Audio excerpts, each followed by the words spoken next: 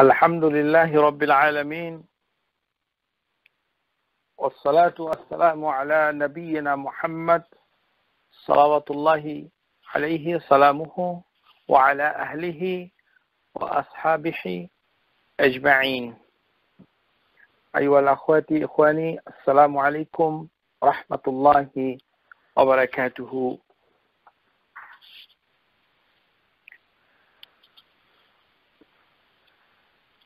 আল্লাহ সুবহানাহু ওয়া তাআলা কোরআনুল কারীমে যে সূরা নাজিল করেছেন, সূরা আল ইখলাস নামে এটি অত্যন্ত প্রসিদ্ধ, কিন্তু এর অনেক নাম রয়েছে। বৃষ্টির উপরে নাম রয়েছে, কিন্তু কিছু নাম শুদ্ধ নয়, সহি নয়। কিন্তু এই যে আল ইখলাস অর্থাৎ সিনসিয়ারিটি পুরো সুরার ভিতরে এখলাসের কোনো কথা নেই, কিন্তু সুরাটা ইখলাস হয়েছে। এর কারণ হচ্ছে যে এই সুরার ভিতরে এমন কিছু জিনিস আলোচিত হয়েছে যা কোনো মানুষের অন্তরকে তাওহিদ প্রতিষ্ঠিত করে এবং শির্ক থেকে পরিষ্কার করে দেয়। মোকাশকিস আরবি ভাষায় মোকাশকিস বলা হয়। এই সুরাটাকে, যেমন তাকশিসুল মারাত যে অসুখটাকে আরোগ্য লাভ করে, পবিত্র, পুরোপুরি রোগ মুক্ত হওয়া হচ্ছে মোকাশকিস তাকশিস মারিদ এরকম নামে ডাকা হয়, যে যে অসুখ মানুষের শিরিক করে, সেই শিরিকের সমস্ত মূল নীতিগুলো এই সুরাতে আলোচনা হয়েছে। কিন্তু আমরা এই সুরাকে বুঝতে পারি নাই। এর কারণ হচ্ছে সুরাটা ছোট আর প্রেক্ষাপট আমাদের নজরে আসে না, চিন্তা করা হয়নি। এই কারণে আমরা বিভ্রান্তির ভিতরে পড়ে আছি। দুই ধরনের মুসলিম আমাদের সমাজে পাওয়া যায়। এই সুরাকে কেন্দ্র করে কিছু মুসলিম নরনারী তারা এই সুরাকে এমন ভাবে কিছু জিনিসের প্রতি ব্যবহার করেন যেগুলোর দলিল, হাদিস সহি হিসাবে পাওয়া যায় না। সেটাও জানতে হবে।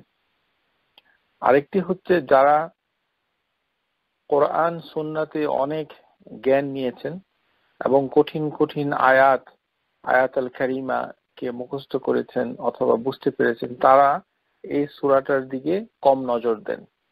অবহেলা করেন বোঝার অভাব রয়েছে। এই কারণে আমরা এই বিষয়ে কিছু আলোচনা করব। এই সুরার ভেতরে যে আল্লাহ সুবহানাহু তাআলার দুইটি নাম যেটা আমরা হাদিসে কুদসির ভিতরে ইসমু আজম এর ভিতরে আমরা পেয়েছি যে যে নামটুকুকে নবী সাল্লাহ আলী সাল্লাম বলেছেন যে এটি হচ্ছে ইসমুল আজম। ইন্নি আসআলুক বিআন্নি আশহাদু আল্লা ইলাহা ইল্লা আন্ত আল আহাদু আস-সামাদু। তাহলে এই দুইটি নাম আমরা আলোচনা করেছি। আল আহাদু আস-সামাদু। الذي لم يلد ولم يولد ولم يكن له কুফুয়ান আহাদ এই পর্যন্ত হচ্ছে ইসমুল আজম এই বর্ণনার ভিতরে দেখা যাচ্ছে যে এই সুরার শেষের দুইটি আয়াত তেল কারিমা এই ইসমু আজমের ভিতরে চলে এসেছে এই কারণে আমরা পুরো সুরাটাকে তার খুঁটিনাটি প্রয়োজনীয় জ্ঞান এই সুরার তাফসির করতে গেলে কমপক্ষে তিনটি ক্লাস আমাদের প্রয়োজন। আমরা এত বিস্তারিতভাবে করব না, যেহেতু এই অনুষ্ঠান তাফসিরের কোনো মাহফিল নয়। বরঞ্চ ইসমুল আজম আল্লাহর বড় বড় নামগুলো এই পর্যায়ে আমরা দেখছি, শিখছি। এই কারণে আমরা প্রাসঙ্গিকভাবে এই সুরাটাকে আবারও একটু দেখে রিভিশন দিব বিনিল্লাহি তাআলা।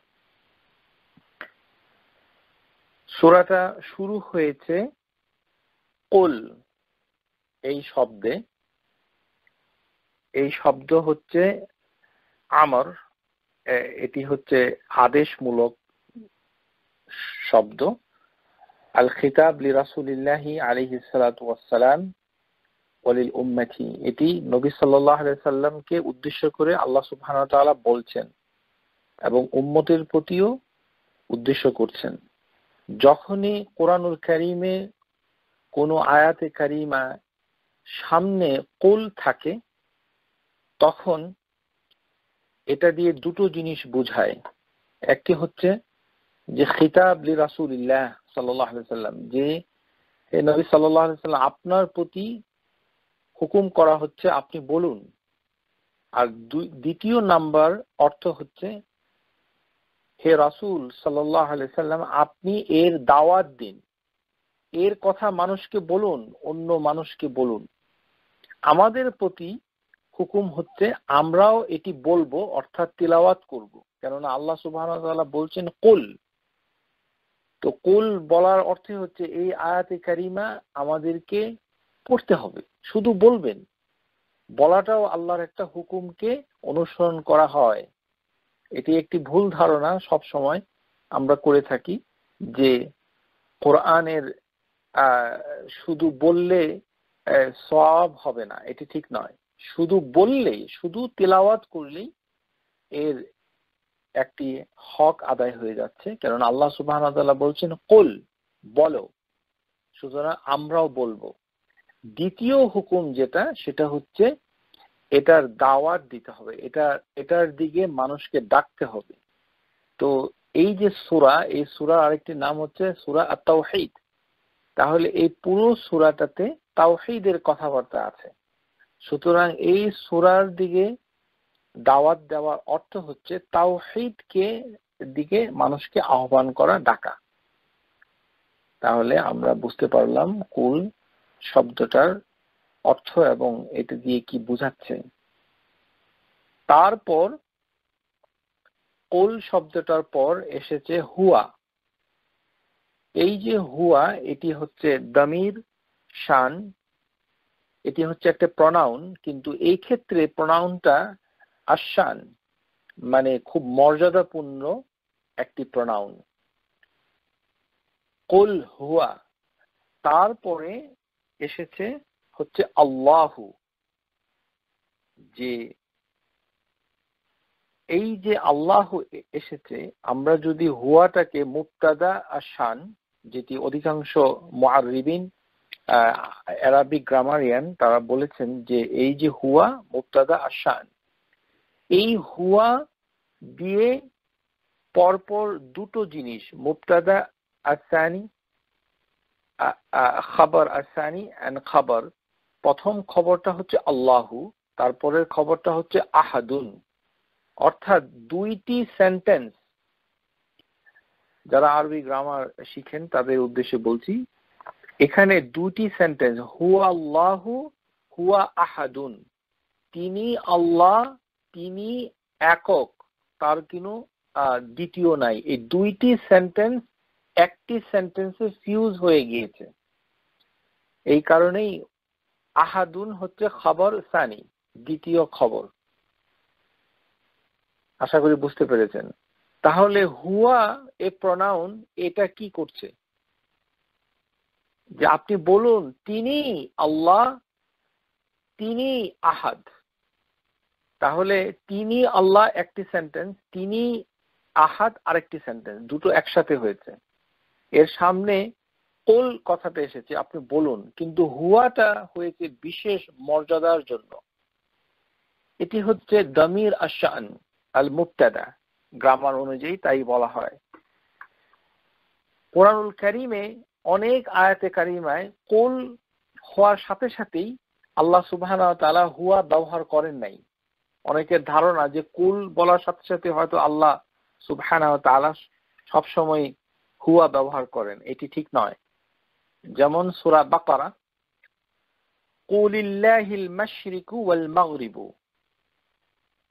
যে আল্লাহর জন্যই রয়েছে পশ্চিম এবং পূর্ব। ইয়াহদিহি ইলা মুস্তাকিম তিনি যাকে চান তাকে সরল পথ দেখান। সূরা বাকারা, আয়াত নাম্বার 142 তারপরে সূরা ইউনুস কুলিল্লাহু ইয়াবদাউল খালাকা, সুম্মা ইয়াউদু, সুম্মা ইউঈদুহু। যে আল্লাহ তাআলা কুলিল্লাহু আল্লাহ বলছেন, প্রথম আয়াতে হচ্ছেন কুল্লিল্লাহি মাশরিকু। আপনি বলে দিন যে মাশরিক মাগরিব আল্লাহ। আর এখানে বলা হচ্ছে, কুলিল্লাহু ইয়াবদাউ খালকা, সুম্মা ইয়াঈদুহু। এখানে কিন্তু হুয়াটা নাই। কুল তারপরে সেন্টেন্স শুরু হয়ে গেছে, আল্লাহু ইয়াবদাউ। আল্লাহ সুবহানাহু ওয়া সৃষ্টি শুরু করেন খালকা, সুম্মা ইউঈদুহু, এবং তিনি এটাকে পুনরায় মানে ঘুরিয়ে নিবেন পুনরায় এই সৃষ্টিটাকে আবার করবেন। যেমন সুরা ইউনুস, আয়াত নাম্বার চৌত্রিশ এবং পঁয়ত্রিশ, কুলিল্লাহু ইয়াহদি লিল হক। আপনি বলুন, আল্লাহ তিনি হিদায়ত দান করছেন সত্যের দিকে। যেমন সুরা রাত এখানে এসেছে আয়াত নাম্বার ষোলো। কুলিল্লাহু খালিকু কুল্লি শাই ওয়াহুয়াল ওয়াহিদুল কাহার। আপনি বলে দিন, আল্লাহ হচ্ছেন খালিকু, তিনি কুল্লি শাই, প্রত্যেকটা জিনিসকে সৃষ্টি করেন ওহুয়াল ওয়াহিদ, তিনি হচ্ছেন এক আল কাহার। কিন্তু সুরাতে আমরা পেয়েছি আহাদ, সেটা ব্যাখ্যা আমরা আগের ক্লাসে দিয়েছি। যেমন সুরা কাহাফ আয়াত নাম্বার ছাব্বিশ কুলিল্লাহু আ'লামু বিমা লাবিসু। আপনি বলে দিন, আল্লাহ ওয়া তাআলাই ভালো জানেন তারা কতকাল সেখানে অবস্থান করছিল আহসাবে কাফ তাহলে এই যে আয়াতুল কারিমার ভিতরে আমরা দেখতে পেলাম যে, কুল এই কথাটা বলার সাথে সাথেই হুয়া ব্যবহার হয়নি, বরঞ্চ হুয়াটাকে বাদ দিয়ে আল্লাহ এর লফস জালালাকে যোগ করে সেন্টেন্স শুরু হয়ে গিয়েছে। তাহলে এই সুরাতে হুয়ার প্রয়োজনীয়তাটা কি?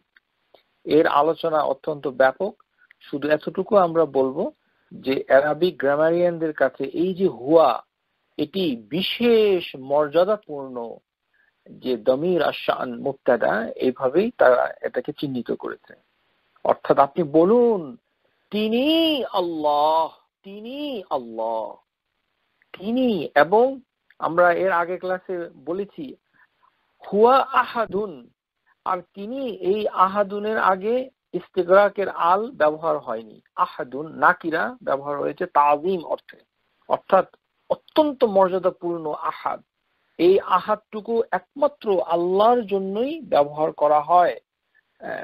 মোতাওয়াহিদু বি জালালাহি ও আজিমাতিহি তার গৌরব এবং গরিমায় এবং রাজকীয়তায় জালাল এবং বরত্বে।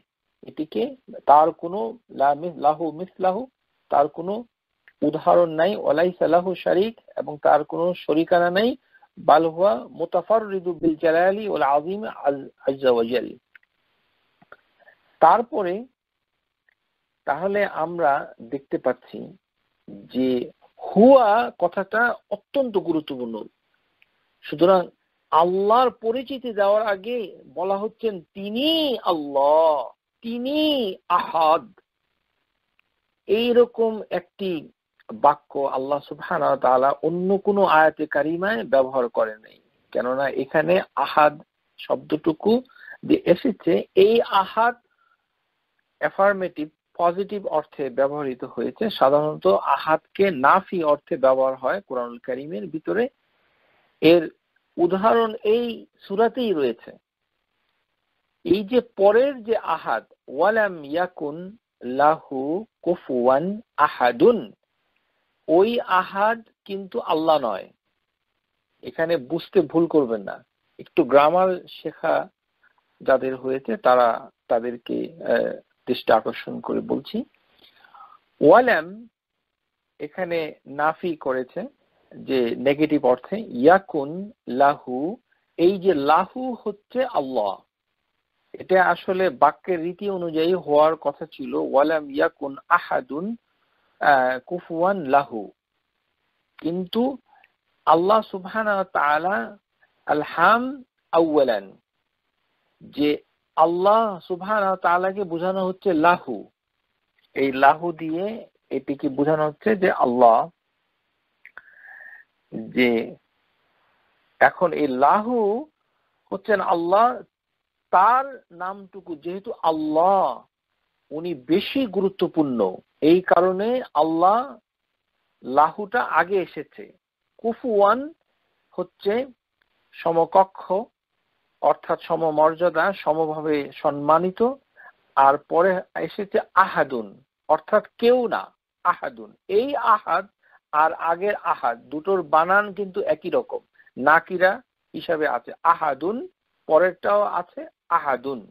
কিন্তু প্রথমটা হচ্ছে আল্লাহ সুবহানাহু ওয়া এর ব্যবহার হচ্ছে একমাত্র কোরআনুল করিমে এই জায়গায়। আর পরের আয়াতের আহাদ একই বানান, একই রীতি, কিন্তু সেটা অর্থ হচ্ছে অন্য কেউ নন, কেউ না।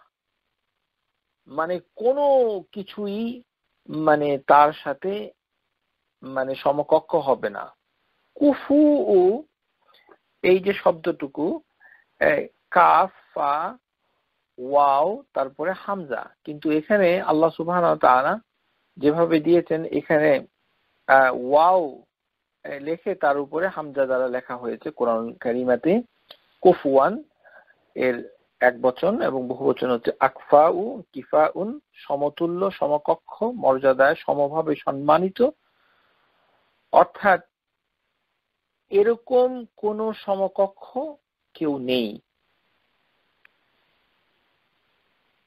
আহাদুন, তাহলে আমরা বুঝতে পারলাম যে এই আহাদ মানে হচ্ছে কেউ কোনো ব্যক্তি, কোনো মানে কোনো কিছুই কেউই তার সমকক্ষ নেই। কেউ হবে এখানে আহাদ। এটি সাধারণত বস্তুর উপরে বসে না, অর্থাৎ কোনো ব্যক্তির উপরে এটি আরোপিত হয়। আমরা গত ক্লাসে আহাদ ক্লাসে আলোচনা করেছি।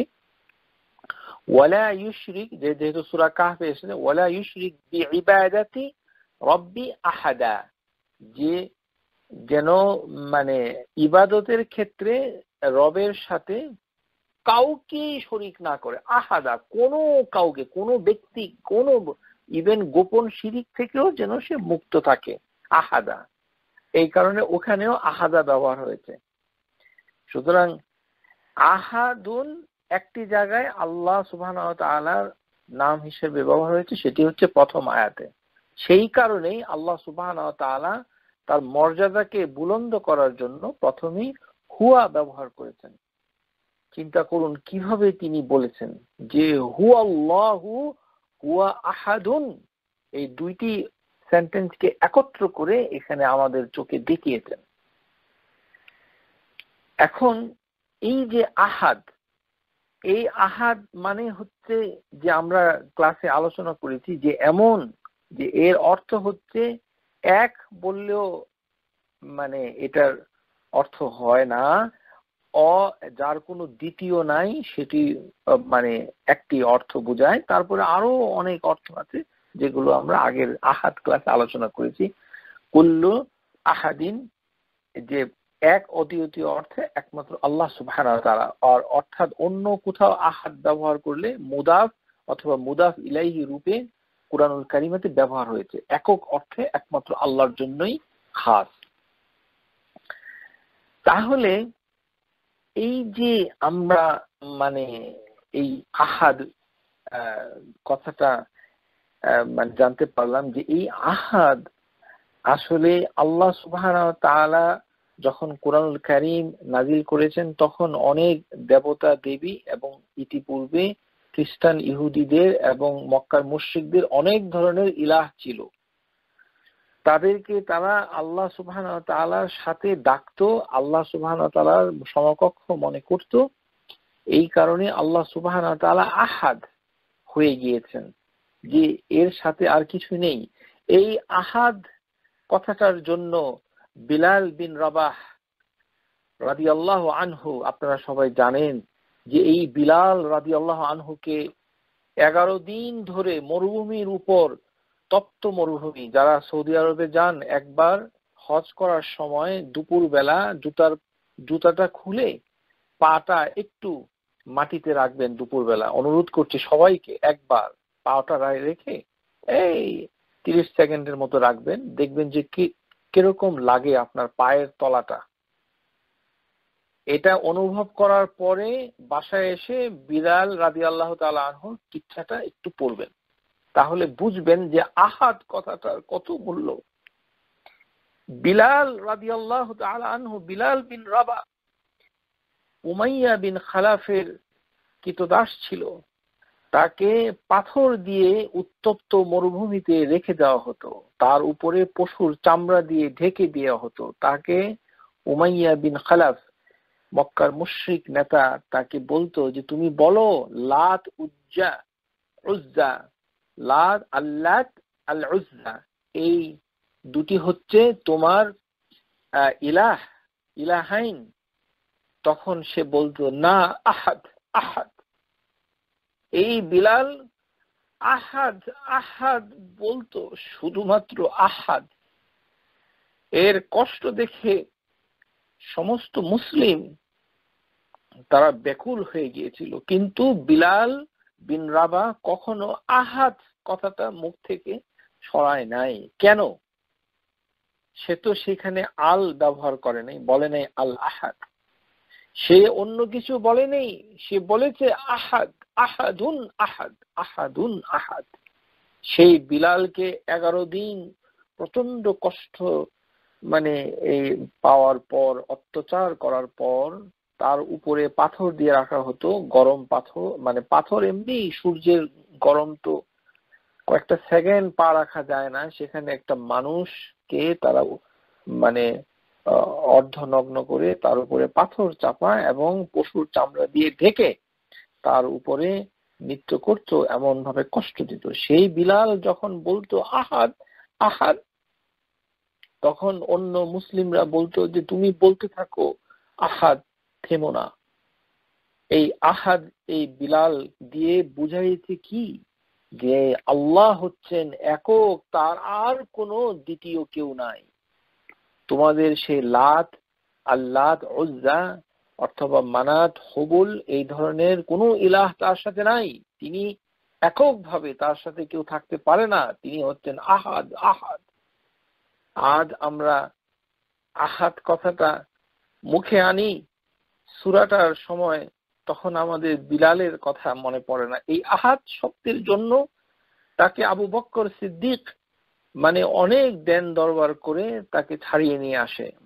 কোন কোন রেওয়ায়তে এসেছে যে আবু বক্কর সিদ্দিকের নিজের তিনটি মানে কৃতদাস দিয়ে, ওই কৃত, পুরুষ কৃতদাস এবং তার ওয়াইফ এবং তার সাথে মেয়ে তিনজনের কে এক্সচেঞ্জ করে বিলালকে দাসত্ব থেকে মুক্ত করা হয়।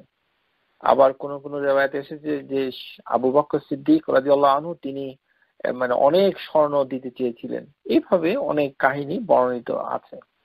সুতরাং এই যে আহাদ, এটির দাম অনেক বেশি। এই আহাদ হচ্ছে যারা ইসলামের প্রথম যুগে আহাদকে প্রতিষ্ঠা করেছে, তারা এর মর্যাদা বোঝে, আমরা এই আহাদকে চিনতে পারি নাই। আশা করি এই আহাদ আমাদের অন্তরে মানে প্রেরণার সৃষ্টি করবে। তাহলে তারপরে এসেছে যে আল্লাহ সামাদ, জুমলাতুল মুস্তাকিল্লা একটি সংক্ষিপ্ত মানে পরিপূর্ণ একটি সেন্টেন্স এই আসামাদ এটা আমরা আলোচনা করেছি যে এমন একজন যিনি কারও মুখাপেক্ষী নন, কিন্তু সবাই তার মুখাপেক্ষী, যার কোনো কিছুর প্রয়োজন নেই, কিন্তু সমস্ত সৃষ্টির তারই প্রয়োজন। হুয়া লেজি তাসমিদু ইলাইহি খালাইক ফি হাওয়া ইজিহা, যে সমস্ত সৃষ্টির যার যাকে প্রয়োজন, তিনি হচ্ছেন আসামাদ কিন্তু তার নিজের অন্য কারোর প্রয়োজনীয়তা নাই। আশা করি বুঝতে পেরেছেন। এখন আসুন যে ওয়ালাম ইয়াকুন লাম ইয়ালিদ ওয়ালাম ইউলাদ। এখানে মানে এমন ভাবে লাম কথাটা বসিয়ে একদম পাস্টেন্স করে ফেলেছে যে এটি হচ্ছে he did not give birth এই কথাটা যদি আল্লাহ সুবহান তাআলা এভাবে ব্যবহার করতেন, লা ইয়ালিদু যে মানে ইউলাদু, লা ইউলাদু ইয়ালিদু যে মানে তিনি জন্ম দেন নাই, তাহলে মানুষ হয়তো ধরে নিত যে অতীতে হয়তো তিনি জন্ম দিয়েছেন। কিন্তু আল্লাহ সুবাহ সেটাকে পরিষ্কার করে মানে এমন ভাবে বলে দিয়েছেন, লাম ইয়ালিদ যে he did not give birth, তিনি জন্ম দেন নাই। ওয়ালাম ইউলাদ এখানে লা ইউলাদু বলা হয়নি যে he is not born, but যেহেতু মানে জন্মটা পাস্ট হয়ে যায়, সেই কারণে এটা প্রতিষ্ঠা প্রতিষ্ঠিত হয়েছে ওয়ালাম ইউলাদ, যে হি ওয়াজ নট বর্ন তাকে জন্ম দেওয়া হয় নাই। এখন এই যে জন্ম হয়ে গেলে অসুবিধাটা হতো কি? কেননা যে কোনো জিনিসের জন্ম হলেই সেটার একটা শুরু থাকে। সুতরাং আল্লাহ সুবাহ তালার কোনো শুরু নাই। তার তার আগে কেউ নাই। তার সাথে কান আল্লাহ আল্লাহ সুবাহ তালা একাই ছিলেন। তার সাথে কিছুই ছিল না। মাহু আলাম মাহু সেই তার সাথে কিছুই ছিল না। সুতরাং তিনি ওয়ালাম ইউলাদ, তিনি জন্ম নেন নাই। পাস্ট যে এটি মানে পরিষ্কার হয়ে গেল যে এটি জন্ম নেন নাই। আর লাম ইয়ালিদ এটাকে প্রথম রাখা হয়েছে। যে তিনি জন্ম দেন নাই, ই ডিড নট এর এর আয়াতের অর্থে অনেকগুলো কথা এসেছে। সেগুলো হচ্ছে আল মুশরিকুন, আল ইয়াহুদ আর নাসারা। তাদের কথাগুলোকে আল্লাহ সুবাহ তালা ফিরিয়ে দিয়েছেন এই আয়াতে কারিমার এই অংশের মাধ্যমে যে মুশ্রিক যারা, তারা বলতো যে, জাআলুল মালাইকাতি রহমান ইনাসান। যে আল্লাহ মানে মানে বলতো যে হচ্ছে আল্লাহ সুবহানাহু ওয়া কন্যা। মানে এভাবে তারা বলতো যে ইন মালাইকাতি বানাত আল্লাহ। তারা হতো যে, আল্লাহ সুবহানাহু ওয়া তাআলার মানে কন্যা হচ্ছে ফেরেশতারা। ওয়াল ইয়াহুদ আরবি ইহুদিদের একটি অংশ, সমস্ত ইহুদি নয়। অনেকের ধারণা যে, সারা পৃথিবীর সমস্ত ইহুদি তারা বিশ্বাস করে অথবা করত ওজায়ের ইবনুল্লাহ। ওজায়ের আলহিসাল্লাম হচ্ছে আল্লাহর পুত্র, এই কথাটি সঠিক নয়। বরঞ্চ আরব সমাজে তখনকার দিনে যে যত, যে ইহুদিরা বসবাস করত, আরবি ইহুদি, তাদের অনেক সংখ্যক লোক তারা বলতো, ওয়াকালু ওজায়ের ইবনুল্লাহ। ইহুদিদের ভিতরে একটি অংশ বলতো ওজায়ের হচ্ছে আল্লাহর পুত্র। ওয়ান নাসারা, এবং যারা খ্রিস্টান তারা বলতো, মাসিহ ইবনুল্লাহ। এবং তারা বলতো যে, মাসিহ মানে ঈসা আলী সালাম হচ্ছে আল্লাহর পুত্র। তো এই ধরনের মিথ্যা কথা যেহেতু বলতো এই কারণে আল্লাহ সুবাহ তাআলা প্রথমেই গুরুত্বপূর্ণ যেটা বেশি সেটাকে তিনি প্রথমেই খারিজ করে দিলেন বাতিল করে দিলেন লাম ইয়ালিদ যে he did not give birth لأنه عز وجل هو الأول الذي ليس قبله شيء যে আল্লাহ সুবহানাহু ওয়া তাআলার পূর্বে কিছুই ছিল না فكيف يكون مولودا তাহলে তিনি কীভাবে জন্ম নিবেন? তারপর আল্লাহ সুবহানাহু ওয়া যে তিনি বলছেন, ওয়ালাম ইয়াকুন লাহু কুফুয়ান আহাদ। আমরা এই আয়াতে কালেমার অংশটা মানে ব্যাখ্যা করার আগে আমরা আরেকটু এর ব্যাখ্যার দিকে যাচ্ছি, ইনশাআল্লাহ তাআলা। যে আল্লাহ সুবহানাহু ওয়া তাআলা মানে হি ডিড নট প্রেজেন্ট টেন্সে অনেক ট্রান্সলেশনে সেটাকে প্রেজেন্ট টেন্সও বলা হয়েছে লাম ইয়ালিদ he he does not give এবং অনেক ট্রান্সলেশনে বলা হয়েছে যে ওয়ালাম ইউলাদ এটি মানে অনুবাদের ক্ষেত্রে কিছুটা পার্থক্য হয়েছে বিভিন্নভাবে। যাই হোক, যে এখানে যে জিনিসটা পরিষ্কার হয়েছে he does not have any child parent spouse এই কারণে মুজাহিদ তাবিআইন আল কবির তিনি এই আয়াতের ব্যাখ্যায় আরেকটি আয়াত দিয়ে তিনি ব্যাখ্যা করেছেন ইবনে কাসির, সেটাকে কোট করেছেন।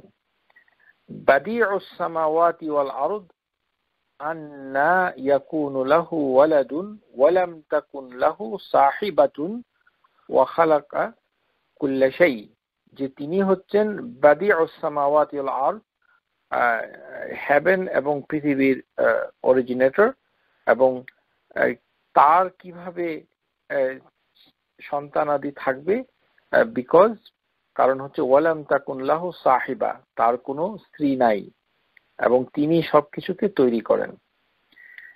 তাহলে এই এই কথা দিয়ে বোঝাচ্ছে যে তার সমকক্ষ কেউ নাই। এখানে বিভিন্ন আয়াতে এসেছে অকাল উত্তাখাজুর রহমান ওয়ালাদা, যে তারা বলছে যে রহমান একটি আর রহমান মানে ছেলে হিসাবে নিয়েছেন লাকাত জিতুম শিয়া ইদ্দা, এবং তিনি, তারা একটি জঘন্য কাজ করেছেন। এবং আমরা সবাই জানি যে এই অপরাধে আল্লাহ সুবহান তালা এত রাগ করেন যে এই কথাটা বললে আমরা কেউ যদি এটা বলে ফেলে আল্লাহর জন্য সন্তান গ্রহণ করা শোভনীয় নয়, সূরা মারিয়াম।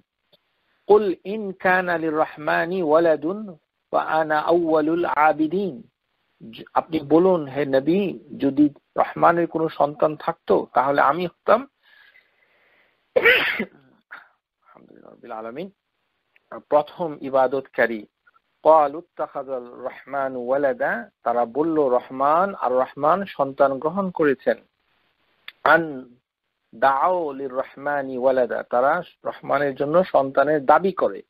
মানে কেউ বলেছে, কেউ দাবি করেছে, কেউ বলেছে তিনি গ্রহণ করেছেন। এই নানান শব্দে কথাগুলো এসেছে। আল্লাহ সুবহানাহু বলছেন, ফালা তাজআলু লিল্লাহি যে আল্লাহ তাআলার সমকক্ষ কাউকেই নির্বাচন করো না। ও আনতুম তা'লামুন, তোমরা জানো যে আল্লাহর কোনো শরিক নাই।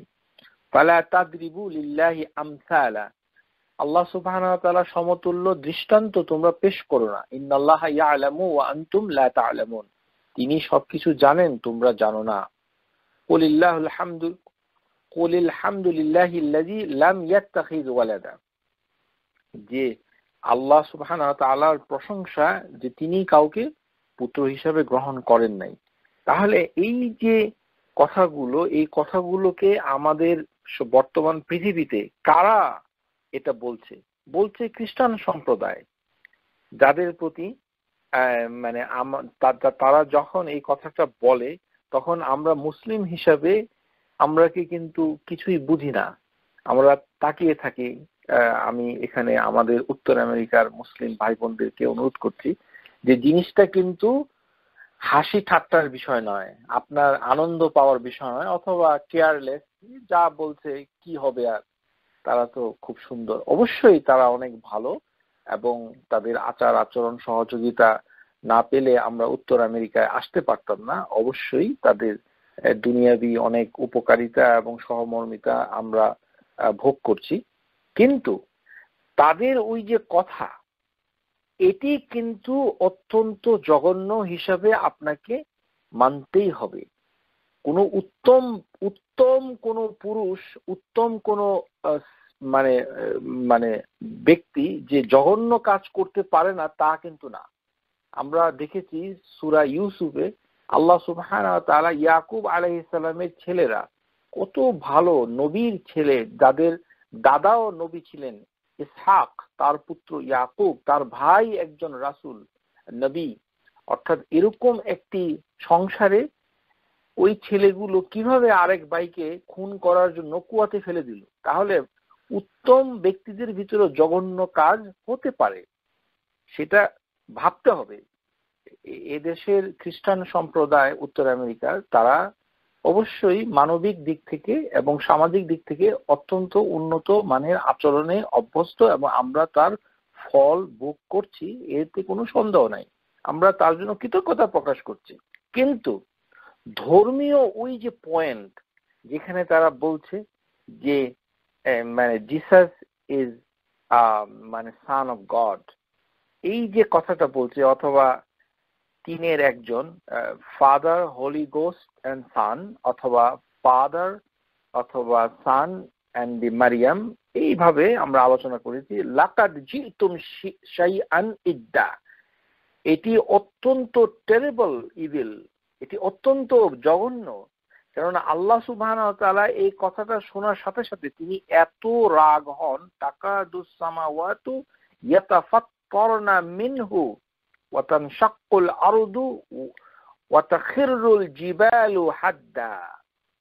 যে আল্লাহর রাগে, আল্লাহ সুবহান যেভাবে তিনি রাগ করেন, এই কথাটা শুনে, তাতে হ্যাভেন এগুলো টুকরো টুকরো হয়ে ছিঁড়ে পড়তে চায়, পৃথিবী ফেটে যেতে চায় পাহাড় মানে ধ্বংস হয়ে যেতে চায়, যে তারা এই কথাটা কীভাবে বলে? আন তারা বলছে, এই কারণে এটাকে ওভাবে কিন্তু ধারণ করতে হবে। শুধু বসে বসে মানে তাদের ক্রিসমাসের সময় কেক টেস্টি খেলে চলবে না। এটা মনে রাখতে হবে যে, একটি জঘন্য একটি কথা কিছুক্ষণের ভিতরেই তারা বলবে অথবা আপনার সামনে বলছে। তখন আপনার উচিত সর্বান্তকরণে ওখান থেকে মানে যেমনি হোক ওটার থেকে চলে যাওয়া, ওটাতে মানে ওটার অংশ যতটুকু সম্ভব না পারার ব্যবস্থা করা, আল্লাহর কাছে পানাহা চাওয়া এবং ইস্তেকফার করা। যে এত বড় একটি জঘন্য হে আল্লাহ আমাদের সামনে ঘটছে, তারা বলছে, আমরা কিছুই করতে পারছি না। আল্লাহ সুবাহ এই জঘন্য কাজের জন্য যদিও এত রাগ, হন যে সমস্ত কিছু ফেটে, চৌচির ধ্বংস হয়ে যেতে চায় হ্যাভেন অ্যান্ড আর্থ কিন্তু আল্লাহ সুবাহ তালা হচ্ছেন হালিম। তিনি এ সত্ত্বেও তাদেরকে মানে রিজিক দেন এবং তাদেরকে সুস্থ রাখেন সুহান আল্লাহ আলা আল্লাহ সুবহানাহু ওয়া তাআলার থেকে সবচেয়ে বেশি সবরকারী আর কেউ নাই। যখন তিনি খারাপ জিনিসটি শুনেন, ইয়াজআলুনা লাহু ওয়ালাদুন, যে তারা তাদেরকে বলছে যে তিনি সন্তান নিয়েছেন, তার একটি সন্তান আছে, কিন্তু তারপরেও তিনি কি করেন? ওহুয়া ইয়ারজুকহুম তাদেরকে তিনি রিজিক দেন। রিজিকটা যে বর্তমান সময়ে যে ভালোই তারা পাচ্ছে দুনিয়াবি রিজিক, সেটা আমরা দেখতেই পাচ্ছি বাস্তবতা। ওয়াইউআফিহিম এবং তারা সুস্থতা লাভ করছে মানে সুস্থ জীবন পাচ্ছে। তো সুতরাং পাশ্চাত্যে যে সকল দেশে খ্রিস্টানদের সংখ্যা বেশি, তাদের ভিতরে এই দুটার উপস্থিতি আমরা বাস্তবে দেখতে পাচ্ছি। সেটি আল্লাহ সুবাহ ভালো জানেন যে কেন এটি হচ্ছে। কিন্তু আমাদেরকে জানতে হবে যে এর পরিণতি অত্যন্ত ভয়ঙ্কর। যে আল্লাহ তাআলা এটি শুনতে চান না। তো এখন যারা খ্রিস যারা মুশরিক ছিল, সেই আমলে ওয়াজআলু বাইনাহু ওয়া বাইনাল জিন্নাতি নাসাবান। তারা জিন এবং আল্লাহ সুবহানাহু ওয়া তাআলার সাথে একটা আত্মীয়তার সম্পর্ক স্থাপন করত। ফেরেস্তাদেরকে বলতো কন্যা, আর জিনদেরকে আল্লাহ সুবাহ তালার সাথে একটা লিনিয়ে লিনিয়েজ কিনশিপ তৈরি করেছিল। এটি কোরআনুল কারিমে মানে মানে আছে। আলু বাইনাহু ও বাইনাল জিন্নাতি নাসাবান। যে তারা তৈরি করত একটি নাসাব, আল্লাহ এবং জিনের মধ্যে। ওয়ালাকাত আলিমাতি জিন্নাতি ইন্নাহুম লা এবং তারা জানতো জিনগুলো যে তাদেরকে আল্লাহ সুবহান সামনে হাজির হতে হবে। সুবহান আল্লাহ আম্মা ইয়াসিফুন। কিন্তু আল্লাহ সুবহান তাআলা হচ্ছেন এই ধরনের অপবাদ থেকে মুক্ত। তাহলে এই ধরনের অপবাদ আল্লাহ তাআলাকে তারা দিত। এই জন্যই আল্লাহ ওয়ালাম ইউলাদ বলেছে। এবং এটি অত্যন্ত গুরুত্বপূর্ণভাবে আমাদেরকে দেখতে হবে। যদিও আমাদের সমাজের পরিপ্রেক্ষিতে, কেননা আমরা বাংলাদেশি সমাজে খ্রিস্টানদের সম্পর্কে আমাদের ধারণা নাই, ইহুদিদের সম্পর্কেও নাই, আর হিন্দুদের সম্পর্কেও তেমন একটা নাই। আর আমাদের রয়েছে মুসলমানদের ভিতরেই অনেক ধরনের শিরকি কর্মকাণ্ড, কিন্তু এই ধরনের শিরকের সাথে আমাদের পরিচয়টা কম। কিন্তু কোরআন থেকে এই জ্ঞান নিয়ে আপনারা উত্তর আমেরিকায় যারা আছেন, তার বাস্তবতা আপনাদের অন্তরে অবশ্যই বোধ করা উচিত। কল আল্লাহ আজ্জাওয়াজাল আল্লাহ তাআলা হাদিসে কুদসিতে বলছেন কাজ্জাবানি ইবনু আদামা ওয়ালাম ইয়াকুন লাহু যালিক। যে আদম সন্তান আমাকে মানে অস্বীকার করছে এবং তার কোনো অধিকার নাই এটা করার। সাতামানি ওয়ালাম ইয়াকুন লাহু যালিক, এবং আমাকে গালি দিচ্ছে, কিন্তু তার কোনো অধিকার নাই। তাকযিবুহু ইয়া এবং তাকে মানে আমাকে মিথ্যা বলছে এবং সেটি বলছে, লান ইউঈদানি কামা বাদানি যে আল্লাহ তাআলা আমাকে আর পুনরায় সৃষ্টি করবেন না যেমন তিনি সৃষ্টি করেছিলেন। এটা আমাদের অনেক মুসলিমদের ভিতরে আছে যে কবরে গেলে হাড্ডি গুড্ডি গুলো কীভাবে আবার আল্লাহ তৈরি করবেন। এই কথাটা যারা বলছে, তারা কিন্তু আল্লাহ সম্পর্কে মিথ্যা বলছে। আইয়া ইয়া ওয়ালাইসা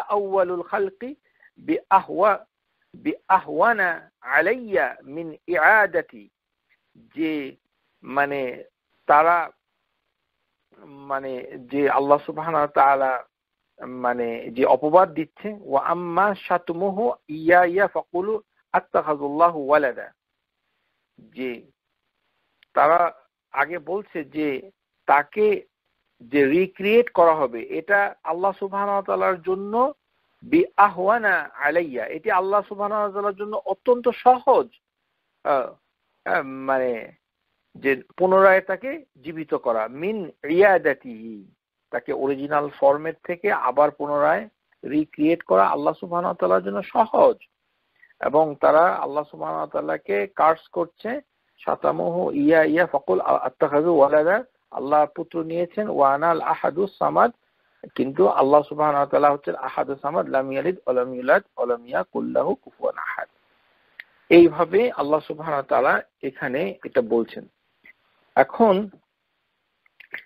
এই যে কোনো কিছু সাদৃশ্য নাই, এটা অর্থ হচ্ছে যে সিফতের দিক থেকে আল্লাহর যে গুণাবলী, তারও কিন্তু কোনো সাদৃশ্য নাই। এটা বুঝতে হবে, সিফাত। আল্লাহর হাত আছে, তো সেটাও তো অন্য কোন হাতের সাথে তার মানে সাদৃশ্য নাই, সমকক্ষ নাই। এটা বুঝতে হবে, শুধু বেশি বেশি খালি কুলহু আল্লাহ খালি মুখস্থ করলে কাজ হবে না।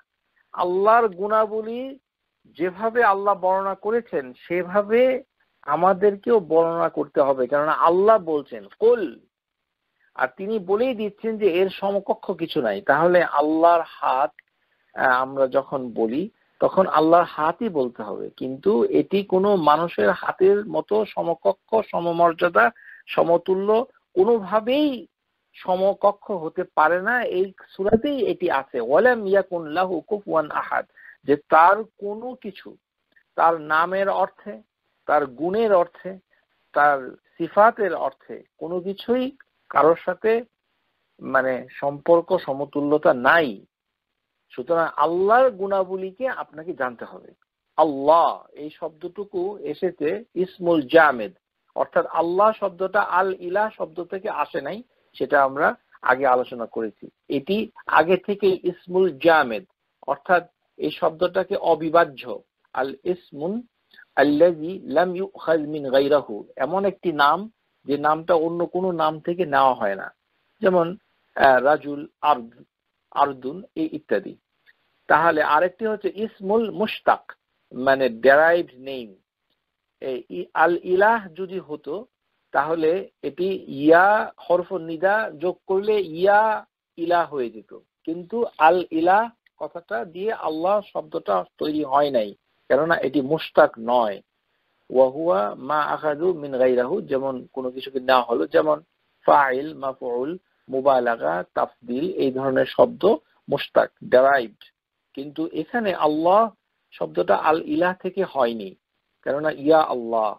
আমরা যখন বলি, তখন আলটা ঠিক থাকে। আর আল্লাহ সুবহান তাআলা যদি বিদেশি শব্দ হয়, তাহলে এটি মানে মামনু মিনাস সরফ যে এর সাথে কাসরা, দম্মা এগুলো ব্যবহার করা যেত না। কিন্তু আমরা দেখতে পাচ্ছি লিল্লাহি, এখানে কাসরা ব্যবহার করা হচ্ছে। কারণ এটি মোয়ারব মানে আগে থেকেই আরবিতে চলে এসেছে। সুতরাং আল্লাহ শব্দটা সমস্ত ভাষায় আল্লাহ হিসাবেই আছে। আশা করি বুঝতে পেরেছেন।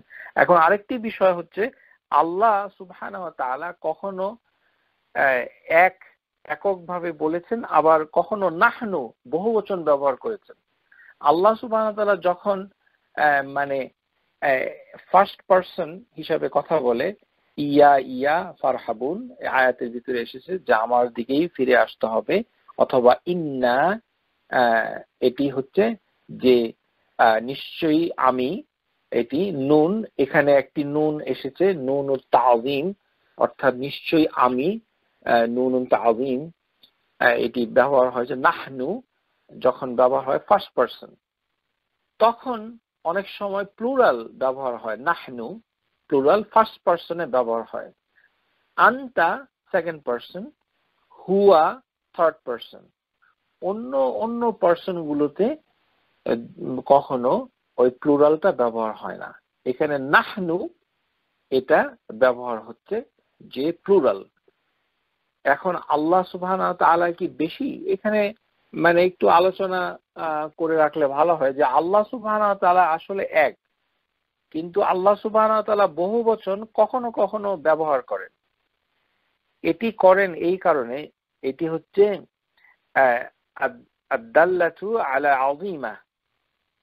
যেমন মানে যখন তিনি মানে বিশেষ ভাবে কোনো কথা বলেন না, কিন্তু তিনি তার আরসের উপর উপরে সমাসীন থাকা অবস্থায় সমস্ত মাখলুককে অ্যাড্রেস করে সাধারণভাবে যখন কথা বলেন, সেটা গুরুত্ব দিয়ে বলেন, কেননা তার আজিমা তার মাহাত্ম তার বরত্বের খাতিরে, তখন তিনি প্লুরাল শব্দটা ব্যবহার করেন। যেমন বলছেন ইন্না ফাতাহনা লাকা ফাতহান মুবিনা। হে নবী, আমরা আপনাকে একটি বিজয় দিয়েছি, ফাতাহনা। এখানে প্লুরাল ব্যবহার হয়েছে। ইন্না আতাইনাকা আল কাউসার যে আমরা আপনাকে দিয়েছি আল কাউসার তাহলে এখানে বহু বচন ব্যবহার হয়েছে। ওয়াসামা ও বানাইনাহা তো এখানে যে হ্যাভেনগুলো আমরা তৈরি করেছি তো এরকম, ওয়াল আরদু ফারাসনাহা আমরা এই পৃথিবীকে বিছিয়ে দিয়েছি। এই যে প্লুরাল এটি যখন আজিম যখন তার কিবরিয়া, তার গর্ভ, আল্লাহ সুবহান তালার মর্যাদা এবং রাজকীয়তা, এইগুলো বোঝানোর সময় তিনি এই মানে প্লুরাল ব্যবহার করেন। ইরাদাতুল তাজিম কিন্তু যখন আল্লাহ সুবহান তালা কাউকে পিন্ট পয়েন্ট করেন, বিশেষভাবে কাউকে বলেন, তখন তিনি কা ব্যবহার করেন?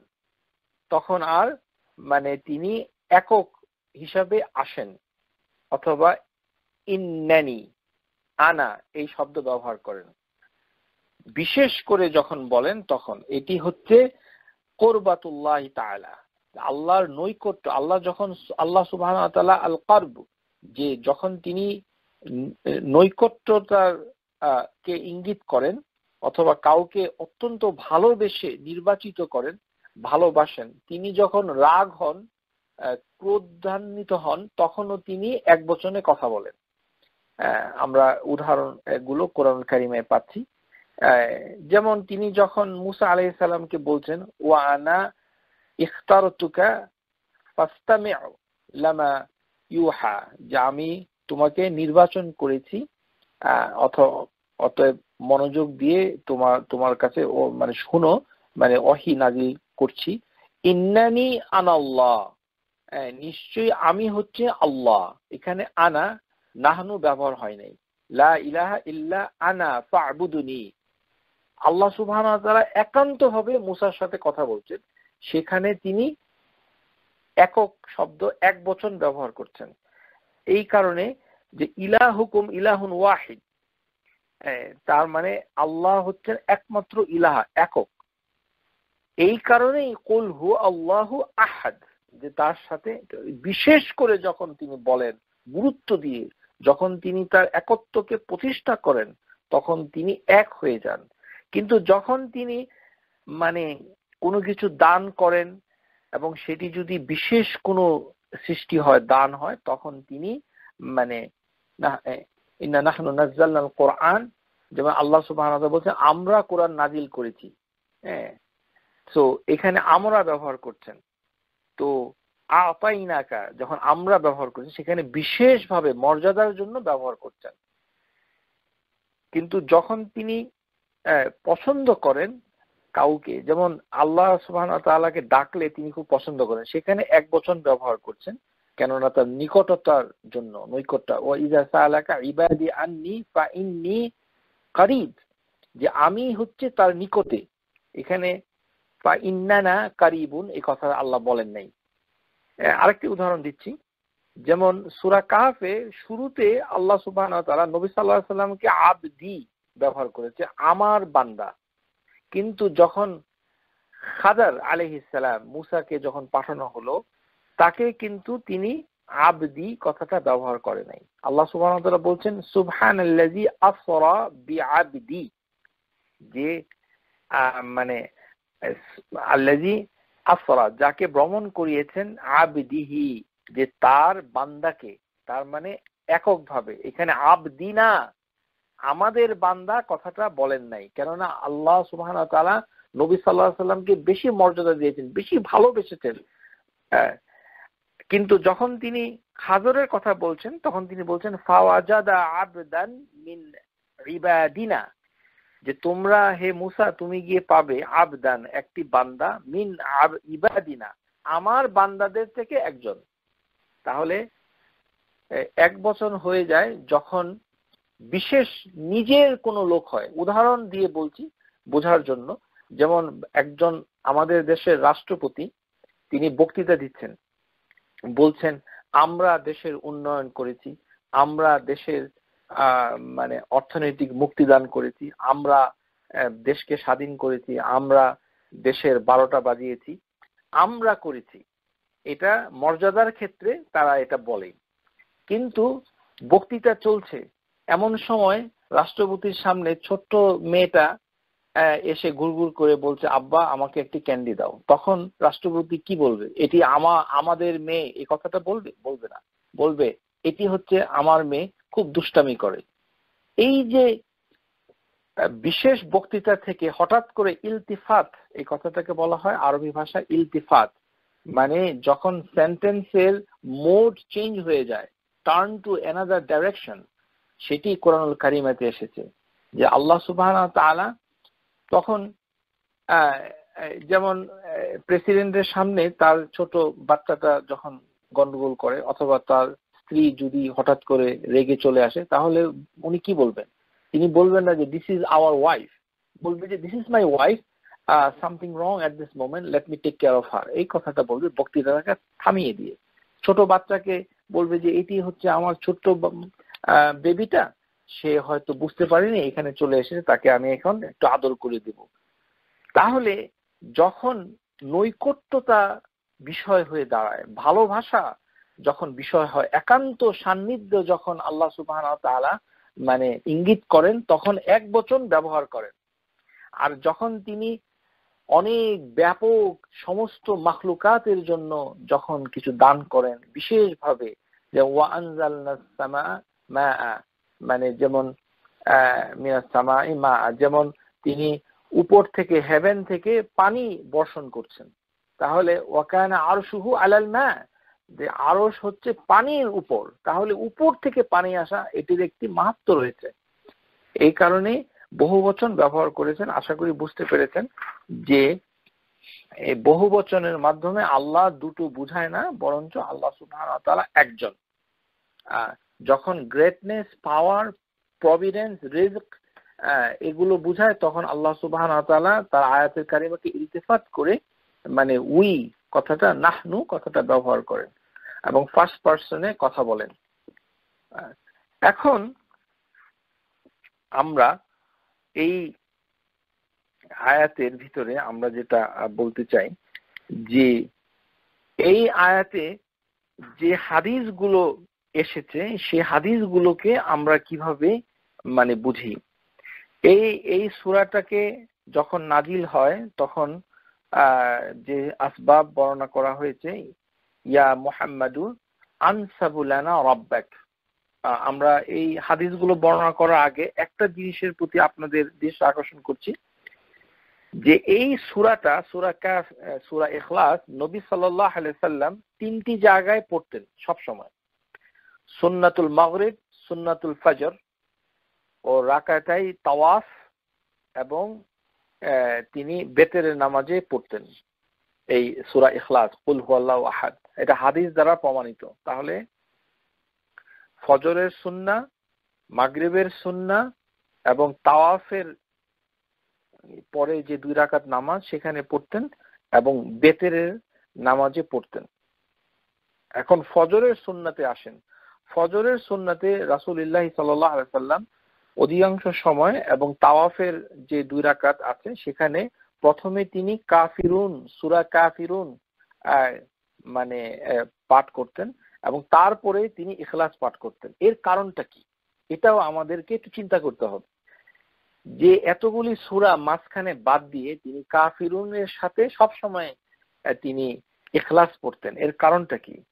কাফিরুন এমন একটি গুরুত্বপূর্ণ সুরা যে এই সুরাতে আল্লাহ সুবাহ কাফেরদেরকে অ্যাড্রেস করেছেন। কিন্তু সেখানে যেহেতু তাদের দিন, তাদের যে মানে শিরিক যুক্ত মানে অন্ধকার যে ধর্ম, আচার, যেখানে আল্লাহর সাথে তারা অন্য দেব দেবতাকে শরিক করছে কুফারে মক্কা, মক্কার কাফেররা, তার কে তাদেরকে উদ্দেশ্য করে তিনি বলছেন ইয়া আইয়ুহাল কাফিরুন হে কাফেরগণ কিন্তু আল্লাহ সুবহান তাআলা সেখানে আল্লাহর নামটা ব্যবহার করাটাকে সমচিত মনে করেন নাই। প্রিয় শ্রোতা আল্লাহর নাম ইসমুল জালালা এই নামের অনেক বড় মর্যাদা। হ্যাঁ, এর অনেক সাকালেন এটা অনেক ভারী কাউলেন সাকালেন এটা অনেক ভারী একটি শব্দ। এখানে শুধু গাড়িতে টাঙ্গিয়ে রেখে এটা অমর্যাদা করবেন না। বাসায়, মাঠে ঘাটে শুধু আল্লাহ টাঙ্গায় রাখে। এই আল্লাহ শব্দটাকে কোল বলতে বলেছে, টাঙ্গাতে বলে নাই। কুল হু আল্লাহ তিনি আল্লাহ। যে তোমরা বলো তিনি হচ্ছেন আল্লাহ। এখানে বলছে নাকি যে তিনি টাঙ্গায় রাখো। আল্লাহ সুবাহ তালা কাফেরদের নাম উল্লেখ করে যে সুরাটা নাজিল করেছেন সেখানে আল্লাহ নিজের নামটা ব্যবহার করে নাই। বলে নাই যে আল্লাহ। কি বলেছে? আমি এবাদত করি না রাসুল্লাহ সাল্লাহ সাল্লাম বলছেন যে তোমরা যার এবাদত করো, মা তাবুদুন। আর ওয়ালা আনতুম আবিদুন। তোমরা যাদের এবাদত করো, মা আবুদ। আমি তার এবাদত করি না। তাহলে তারা কার এবাদত করে? আল্লাহ আল উজ্জা আল হুবুল তারপরে মানাত, এগুলো কোরআনই আছে। তাছাড়া তাদের সাথে দেবতা ছাড়াও রয়েছে ফেরেস্তা হচ্ছে তার আল্লাহর কন্যা ইত্যাদি, জিনদের সাথে রয়েছে আল্লাহর আত্মীয়তা। এরকম মুশ্রিকরা এগুলো চিন্তা করত। সেই কথার জবাব আল্লাহ সুবাহ দিয়ে দিলেন যে আল্লাহ হচ্ছেন কে? তিনি হচ্ছেন হু আল্লাহ এই কাফিরুন সুরার জবাবটা আল্লাহ সুবাহ পরিষ্কার করে দিয়ে দিলেন যেন তিনি হচ্ছেন আল্লাহ, তিনি হচ্ছেন আহাদ, তিনি হচ্ছেন সামাদ। ওখানে আর তিনি ইলাহ আর রব কথাটা ব্যবহার করেন নাই। এটি আল্লাহ এবং আহাদ শব্দের ব্যাখ্যাই হচ্ছে পুরো সুরাটা। তাওহিদকে প্রতিষ্ঠা করা হয়েছে এই সুরার মাধ্যমে। যেমন ইবনে কাসির এই সুরাটার তাফসিরের ভিতরে একটি হাদিস এনেছেন যে কোরআন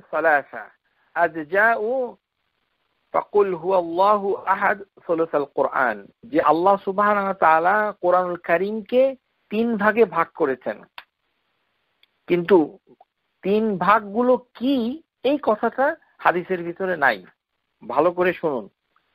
আল্লাহ সুবাহ তাআলা এই সূরাটাকে তিন ভাগ মানে কোরআনুল কারীমকে তিন ভাগে ভাগ করেছেন। কিন্তু তিনি বলেছেন যে, ফাকুল হু আল্লাহ আহাদ সুলুসাল কোরআন। কুল হু আল্লাহ আহাদ হচ্ছে কোরআনের এক তৃতীয়াংশ।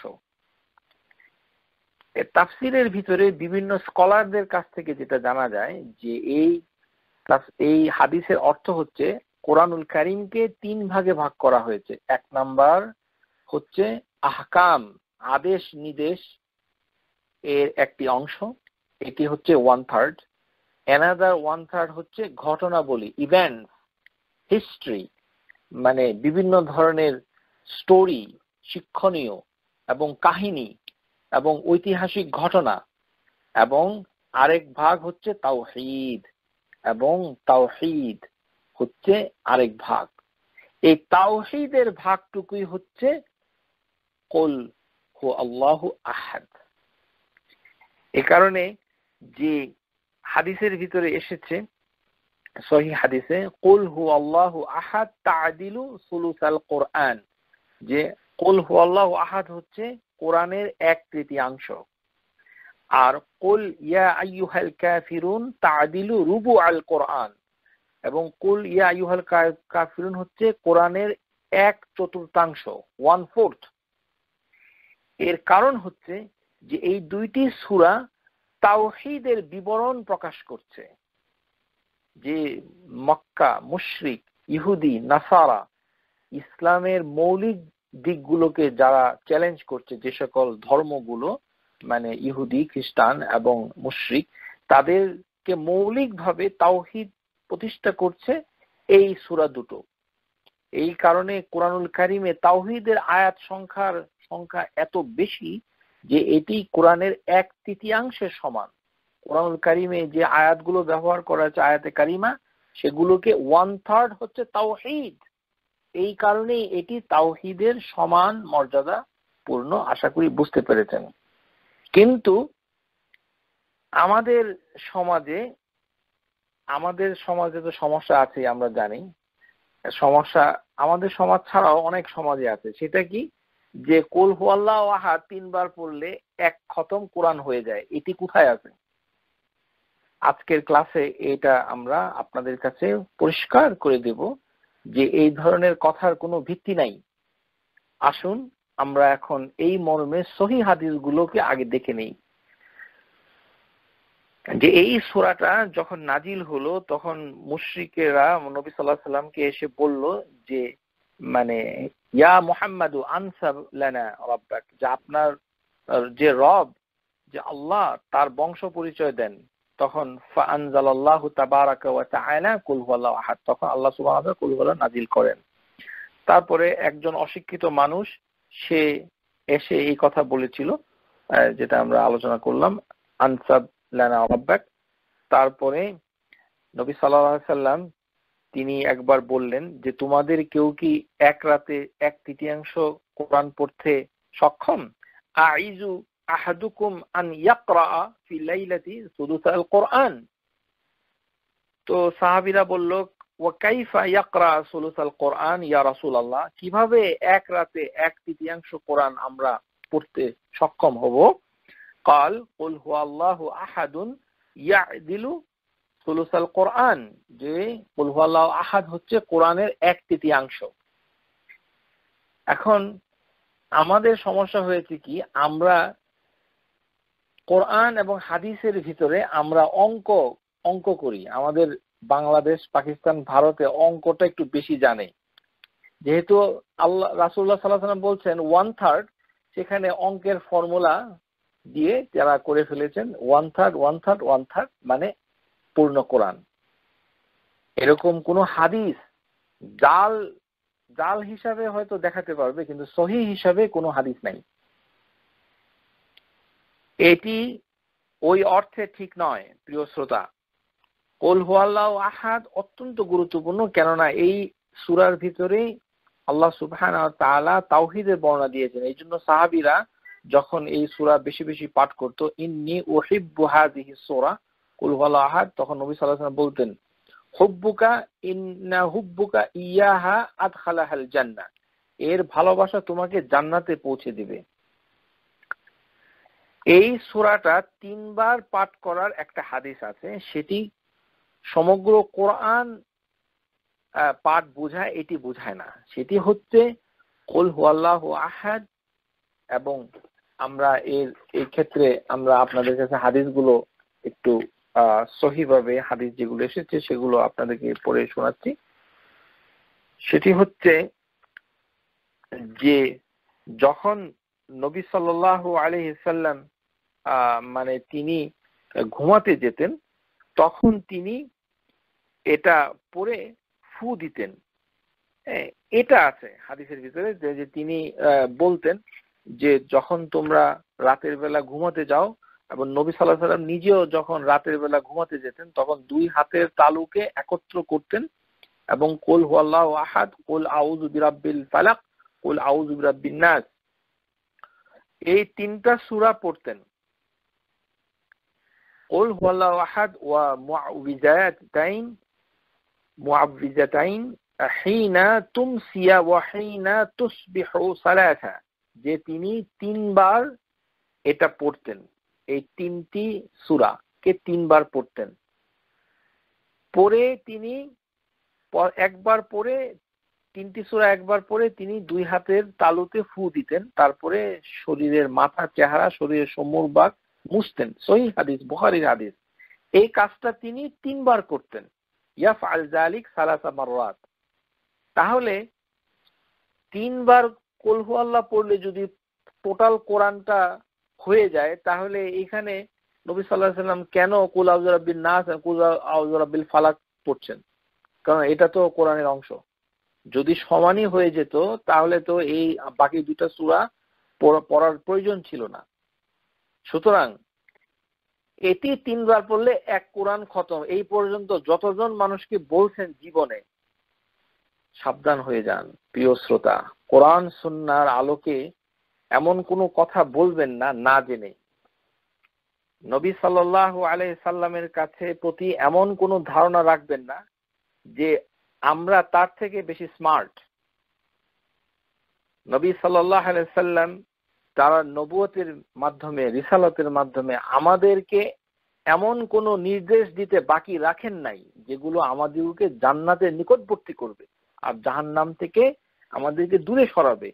عن ابن مسعود رضي الله عنه أن رسول الله صلى الله عليه وسلم قال ليس من عمل يقرب من الجنة إلا قد أمرتكم به যে আমি তোমাদেরকে জান্নাতের নিকটবর্তী করবে এমন কোন আমলের নির্দেশ দিতে ছাড়িনি প্রত্যেকটা নির্দেশ দিয়ে গেছি আর আমাদের সমস্যা হলো কি আমরা বেশি স্মার্ট মাইনাসে মাইনাসে প্লাস এটা তো হয় না আমরা আপনাদেরকে একবার বলেছি যে এই যে বাকারা সুরাটা নাজিল হয়েছে, সেখানে একটা মার্ডার কেসের বিচার হচ্ছিল। আল্লাহ সুবাহ তালা বনি ইসরায়েলকে বললেন যে, তোমরা একটা গরু জবাই করো। তো গরুটাও মরে গেল, লোকটাও মৃত। তাহলে মৃতদেহের মৃত গরুর মাংসকে মৃতদেহের সাথে লাগালে তারপরে সে জীবিত হয়ে গেল। মানে মাইনাসে মাইনাসে প্লাস। ফর্মুলা দিয়ে দিন ইসলাম হয় না। দিন ইসলাম হয় দলিলের মাধ্যমে। আর আল্লাহ সুবাহ তালা আমাদেরকে রাসুল পাঠিয়েছেন, যে রাসুল তিনি সমস্ত কিছু বলে গেছেন। এমন কোনো ধারণা করা যাবে না যে এটা আসলে তিনি বলতে ভুলে গেছে। যেমন ইদানিং অনেকে বলে যে দিনের উপরে চলা সহজ হবে এই ছয় পয়েন্ট করলে। ওরা কি বুঝতে দাবি করছেন যে তিনি এটা বলতে ভুলে গেছেন? নিশ্চয়ই নয়। ওয়ালা আমেলু ইউকাররিবু মিনান নার ইল্লা ওয়াকাদ নাহাইতুকুম আন।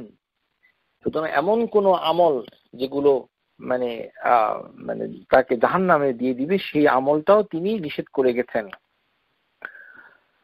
তাহলে আমরা দেখতে পাচ্ছি যে, এই সোরাটা তিনবার পরে ফু দেওয়ার একটি হাদিস পাওয়া যায়। কিন্তু তিনবার পড়লে কোরআন এক খতম হয়ে যায়, এটি কিন্তু তিনি বলেন নাই, হাদিসের ভিতরে পাওয়া যাচ্ছে না।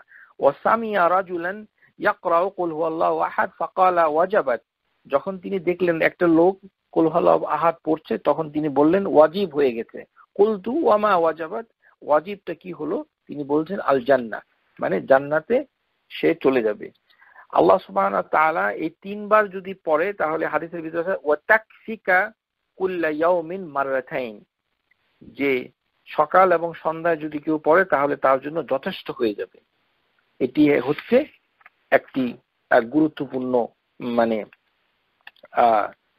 আমরা পেলাম যে এটি গুরুত্বপূর্ণ বিষয়। কুল হুয়াল্লাহ আহাদ, এই সুরাটার ফাজাইলের ক্ষেত্রে অনেকগুলো হাদিস আছে। এই হাদিসগুলোকে সাবধানে আপনাদেরকে শিখতে হবে। সাবধান। উল্টা পাল্টা মানে শিখলে কাজ হবে না, বরঞ্চ বিপদ চলে আসতে পারে।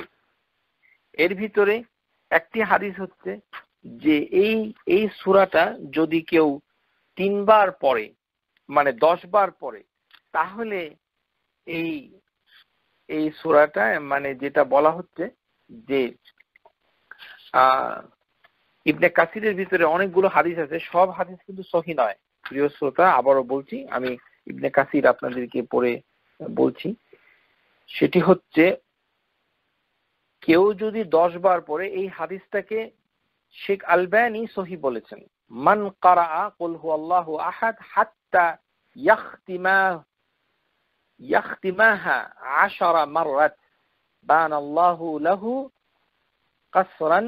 জান্নাহ। যে ব্যক্তি আহাদ দশ বার পরে স্থির হয়ে যাবে, থেমে যাবে, দশ বার পড়বে এবং এখানে খাতিমা করে ফেলবে, শেষ শেষ করবে। মান কারা আহাদ হাত্তা আশারা মাররাত। দশ বার কুল হুয়াল্লাহ পড়ে থেমে যাবে। বান আল্লাহু লাহু কাসরান ফিল জান্নাহ। আল্লাহ সুবহানাহু তাআলা জান্নাতে তার জন্য একটি প্রাসাদ তৈরি করবেন। এই অংশটুকু সহি। শেখ আলবানী সিলসিলাতিল আহাদি সহিহা, হাদিস নাম্বার পাঁচশো আটানব্বইতে তিনি সহি বলেছেন। কিন্তু এই হাদিসের বাকি অংশগুলো সহি না। যেমন এই কথা শুনে ওমর রাজিয়াল্লাহ তালা আনহু তিনি বলেছিলেন যে, ইয়া রাসুল আল্লাহ তাহলে তো আমরা অধিক প্রাসাদ নির্মাণ করতে পারব, বারবার পরে পরে তখন তিনি বলেছিলেন যে, আল্লাহ আকসারু ও আতিয়াবু, আল্লাহ হচ্ছেন আরও বেশি দানকারী এবং ভালো দানকারী। এই এই অংশটুকুকে শেখ আলবানি তার দাইফ তারগিব, তারহিব হাদিস নাম্বার আটশো তিরানব্বইতে তিনি দুর্বল প্রমাণ করেছেন। অর্থাৎ দশ বারই পড়তে হবে, এর বেশি নয়। তাহলে তিরিশ বার পড়া, এর বেশি পড়ার হাদিসগুলো সহি নয়। এটি ইবনে কাসিরের ভিতরে আছে দারিমি থেকে, ওই হাদিসগুলো সহি নয়। শুধু এই হাদিসটুকু, এই অংশের সহি। পঞ্চাশ বার পড়লে পঞ্চাশ বছরের গুণা মাফ হবে, সেটি হচ্ছে দুর্বল। এটি হচ্ছে দাইফ জামিয়া সগির, হাদিস নাম্বার পাঁচ হাজার সাতশো আটাত্তর দুর্বল। কেউ যদি দুই শত বার পড়ে তাহলে তার এক হাজার পাঁচশত সব তার লিখে দিবে যদি তার ঋণ না থাকে। এই হাদিসটা ইবনে কাসির নিজেই বলেছেন, ইসনাদু দাইফ এটি দুর্বল। তারপরে যে ব্যক্তি রাতের বেলায় বিছানায় একশত বার এখলাস পাঠ করবে, কিয়ামতের দিন আল্লাহ তাকে বলবেন যে, ডান দিক দিয়ে জান্নাতে প্রবেশ করো। এই হাদিসটুকুকে ইমাম তিরমিজি বলেছেন, গারিবুন মিন হাদিস যে এটি একটি মানে গারিব স্ট্রেঞ্জ হাদিস এই হাদিসটাকে আমি আমার সাধ্য মতো চেষ্টা করেছি। এটি সহি দেখার জন্য, কিন্তু এটি সহি হিসাবে যে ইবনে কাসির যে যেটি সৌদি আরব থেকে বের করেছেন সফিউর রহমান মুবারকপুরি মিসবাহুল মুনির ফি তাহদিব তাফসির ইবনে কাসির, সেখানে তিনি এই হাদিসগুলোকে বাদ দিয়েছেন। অর্থাৎ বোঝা যাচ্ছে যে সহি নয়। তারপরে যে ব্যক্তি ইখলাস দুইশত বার পাঠ করবে, আল্লাহ সুবাহ তার দুইশো বছরের গুণা মাফ করে দেবে। এটি দুর্বল হাদিস হাদিস নাম্বার জামিয়া সগির, পাঁচ হাজার সাতশো বিরাশি। তারপরে প্রত্যেক ফরজ নামাজের পর দশ বার ইখলাস পাঠ করা, গোপনে ঋণ আদায় করা, হত্যাকারীকে ক্ষমা করা, এমন তিনটি কাজ যদি কেউ করে, যে কোনো একটু করিলে ফজিলত লাভ করবে সেটি হচ্ছে যে অপরূপ সুন্দরী হুরদের সাথে বিবাহ দিবে, জান্নাতের যে কোনো দরজা দিয়ে প্রবেশ করবে, এই হাদিসটুকু মানে দুর্বল। জামিয়া সগির, হাদিস নাম্বার দুই হাজার পাঁচশো একচল্লিশ। আর বাকি যে দুইটি হাদিস রয়েছে, যে মানে নবী সাল্লাহ সাল্লাম জানাজা পড়েছিলেন, এই এবং এমন ব্যক্তির যার জন্য পৃথিবী আলোকিত হয়েছিল, এই দুটো হাদিসই সহি নয়।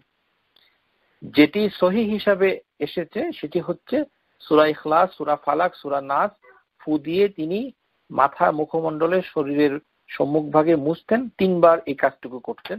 সেটি হচ্ছে সহি তারপরে আরেকটি হাদিস আছে যে ইমাম আহমদ বলেছেন, যে ব্যক্তি পড়বে লাহ আহাদান সামাদান সাহিবা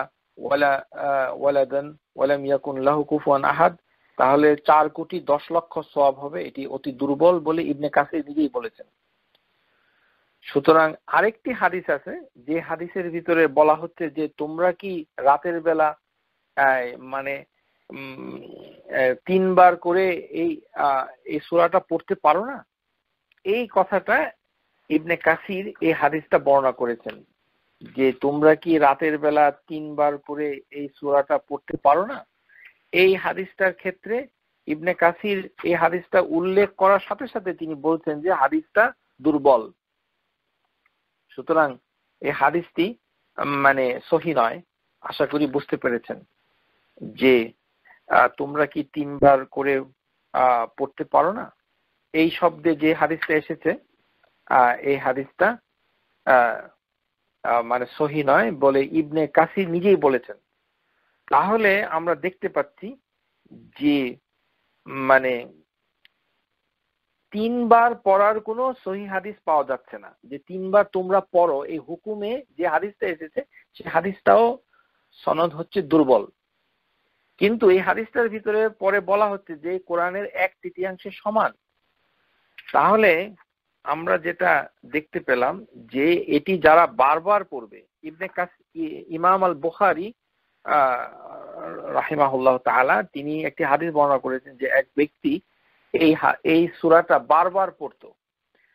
সো বারবার যে পড়তো, তার হাদিস, তার এই কাহিনীটা শুনেও নবী সাল্লাহ সাল্লাম এই কথাটা বলেন নাই যে তুমি তিনবার পড়লে এক কোরআন খতম হয়ে যাবে। এই এই কথাটা তিনি বলেন নাই। সুতরাং হাদিসটা আছে যে, এক ব্যক্তি রাসুল্লাহ সাল্লাহ সাল্লামের কাছে এসে বলল, হুজুর, ইয়া রাসুল আল্লাহ আমি এক ব্যক্তিকে বারবার সুরা এখলাস পাঠ করতে শুনেছি। বারবার। তাহলে বারবার মানে সে অনেকবার পড়ছে, কিন্তু তখন তিনি এটাকে এই কথা বলেন নাই কান্না রাজুলুন ইয়াতাকালা ফকাল ওয়াল্লাজি তখন তিনি বললেন ওয়াল্লাজি নাফসি বিয়াদি ইন্নাহা লি তাদিলু সুলুসাল কোরআন।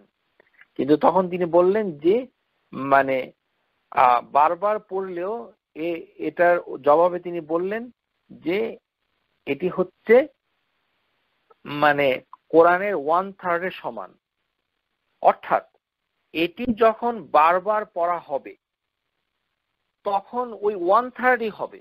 মানে আপনি অনেকবার ওয়ান থার্ড পড়লেন ওয়ান থার্ড ওয়ান থার্ড মনে করেন কোরআনটার ভিতরে তিরিশ পারা আছে। তাহলে কথার কথা আপনি বোঝার জন্য বলছি যে আপনি দশ পারা পড়লেন। এই দশ পারা কোন মানে দশ পারা তো এইভাবে হবে না। কোরআনটাকে তিন ভাগে ভাগ করা হয়েছে, সেটি হচ্ছে মানে তাওহিদ হুকুম এবং মানে তার ঘটনাবলী এই তিন ভাগে। তাহলে তাওহিদ হচ্ছে ওয়ান থার্ড তাহলে ওয়ান থার্ড পোর্শন মানে মনে করেন একজন লোক দশ পাড়ার মতো সমতুল্য পড়ল, তাহলে বারবার পড়লে ওই দশ পাড়াই থেকে যাচ্ছে।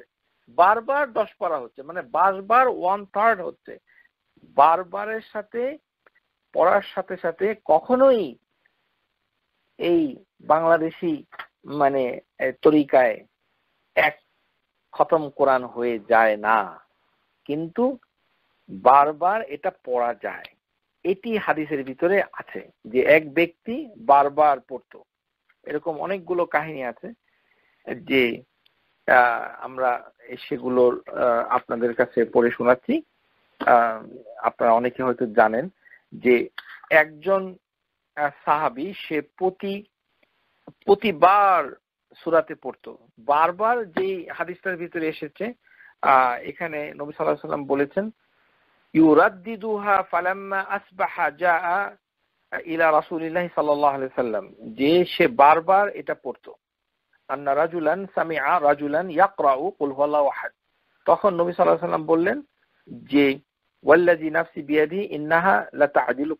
কিন্তু তখন তিনি বলতে পারতেন, বারবার যেহেতু সে পড়ছে, যে তোমার তিনবার পড়লে তুমি থেমে যাও, কেননা এক কোরআন খতম হয়ে যায়। কিন্তু তিনি সেটা বলেন নাই, এটা বুঝতে পেরেছেন। এক ব্যক্তি শেষ রাতের নামাজে শুধু কুলহু আল্লাহ সুরা তেলাওয়াত করতেন এবং তাকেও অনুরূপ কথা তিনি বলেছেন। তো নবী সাল্লাহ সাল্লাম, তিনি মানে যখনই তিনি কাউকে শুনতেন যে কোনো লোক এই সুরাটা বারবার পড়ছে, তখন এরকম একটা লোক পাওয়া গেল, দুই ধরনের হাদিস এসেছে। একজন হচ্ছে কুবার মসজিদ। সৌদি আরবে যে কুবা আছে, কুবা মসজিদ, কুবা মসজিদে এক আনসারি ইমামতি করতেন। সেই ব্যক্তি যখনই কোনো রাকাত পড়তেন, তখন সুরা তেলাওয়াত করতেন। কুল হুয়াল্লাহ, সুরাটা আগে পড়তেন। বুঝতে পেরেছেন? প্রত্যেক রাকাতে এটা পড়তেন। সুম্মা কারা সুরাতুন ওখরা মাহা ওয়াকানা ইয়াসনাউ যালিক কুল্লু রাকা লক্ষ্য করুন, প্রিয় শ্রোতা, আবারও বলছি, প্রত্যেক রাকাতে ওই ব্যক্তি কুল হু আল্লাহ পড়তেন সুরা ফাতেহার সাথে। এটি হচ্ছে দলিল। এই কথা শোনার পরে নবী সাল্লাহ সাল্লাম ওই ব্যক্তিকে বলে নাই যে, তুমি একটা সহু সেজদা দাও। এই যে বাংলাদেশি সমাজ, এই সমাজের জায়গা কোথায় হবে আল্লাহ ভালো জানে। সহি হাদিসের ভিতরে এসেছে, বোখারির হাদিস হাদিস নাম্বার সাতশো চুয়াত্তর। যে এই লোকটি চার রাকাত নামাজ বিশিষ্ট, যেমন জোহর, আসর, ঈশা। চার রাকাত নামাজ, সুরা ফাতেহার সাথে সুরা মিলানো যায়, প্রত্যেক রাকাতে। আমাদের সহিসুন্নার ভাই বোনদের কাছে অনুরোধ করছি, যারা মহিলা, যারা যাদের কিছুটা সময় আছে, এই দিনগুলোতে আপনারা অবশ্যই ফরজ নামাজে বাকি দুই রাকাতে ফাতেহার সাথে সুরা মিলাবেন। কেননা প্রত্যেক রাকাতে ফাতেহার সাথে সুরা মিলানো এমন একটি বড় কাজ, এমন একটি বড় সুন্না যেটা সাহাবিদের একটি বিরাট দল এটা করত। এর ভিতরে রয়েছে মিনহম আবু বাকর সিদ্দিক আন আর আমরা হচ্ছি বাংলাদেশি। আমাদের সমাজে কি হয়েছে? যে একজন লোক জোহর আসর ঈশার নামাজে শেষ রাখাতে ফাতেহার সাথে ভুল করে একটা সুরা পড়ে ফেলছে। তারপরে তো মানে মহাভারত অশুদ্ধ, কি ব্যাপার? এখন কি সুহসাজা দিতে হবে কিনা, হুজুর ডাকতে হবে কিনা, ইত্যাদি। আস্তাফিরুল্লাহ আদিম প্রত্যেক রাখাতে সুরা ফাতেহা পড়তো ওই লোক, যে লোকের কথা এই সুরা ইখলাসে বর্ণিত হয়েছে। যে এই লোকটি কুবার মসজিদে ইমামতি করতেন। প্রত্যেক রাখাতে অন্য সুরা পড়ার আগে সুরা কুল হুয়াল্লাহ আহাদ পড়তেন এবং এখানে হাদিসের ভিতরে এসেছে। এই কারণে লোকটা এই কথা বলতো, তখন সবাই বলল যে, তুমি বারবার একই রাখাতে মানে সে কেরাতের শুরুতে শুরু করতো কোলহাল্লাহ দিয়ে এবং তার সাথে ঝগড়া হয়ে গেল মুসল্লিদের। সে বলল যে, আমরা এভাবে ইমামতি করা যদি আপনারা পছন্দ না করেন, তাহলে আমি ইমামতি করব না, ছেড়ে দিব। কিন্তু ওই লোকটা ছিল সবার থেকে বেশি উন্নত, বেশি জ্ঞান।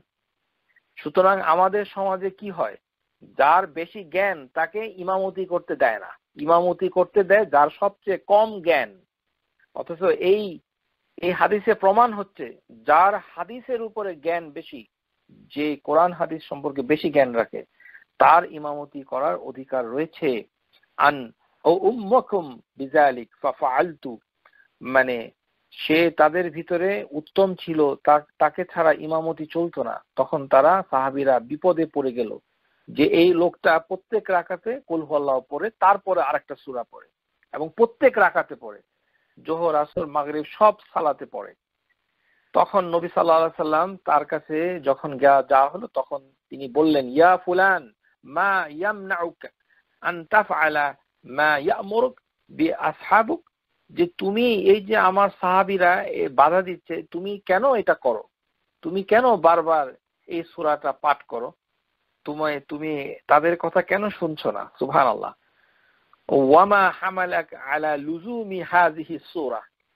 তোমাকে এই সুরাটা, এই আহাদ সুরাটা কেন তোমাকে এরকম বাধ্য করছে?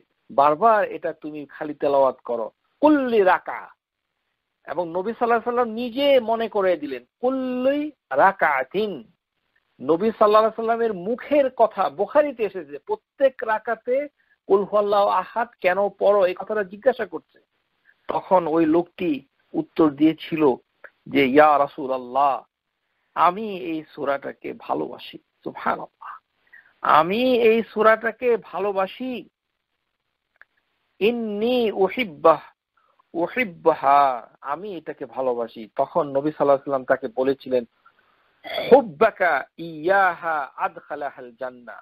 তুমি জেনে রাখো যে তোমার ভালোবাসা তোমাকে জান্নাতে প্রবেশ করাবে। এই হচ্ছে মানে সুরা মানে এই কি বলে?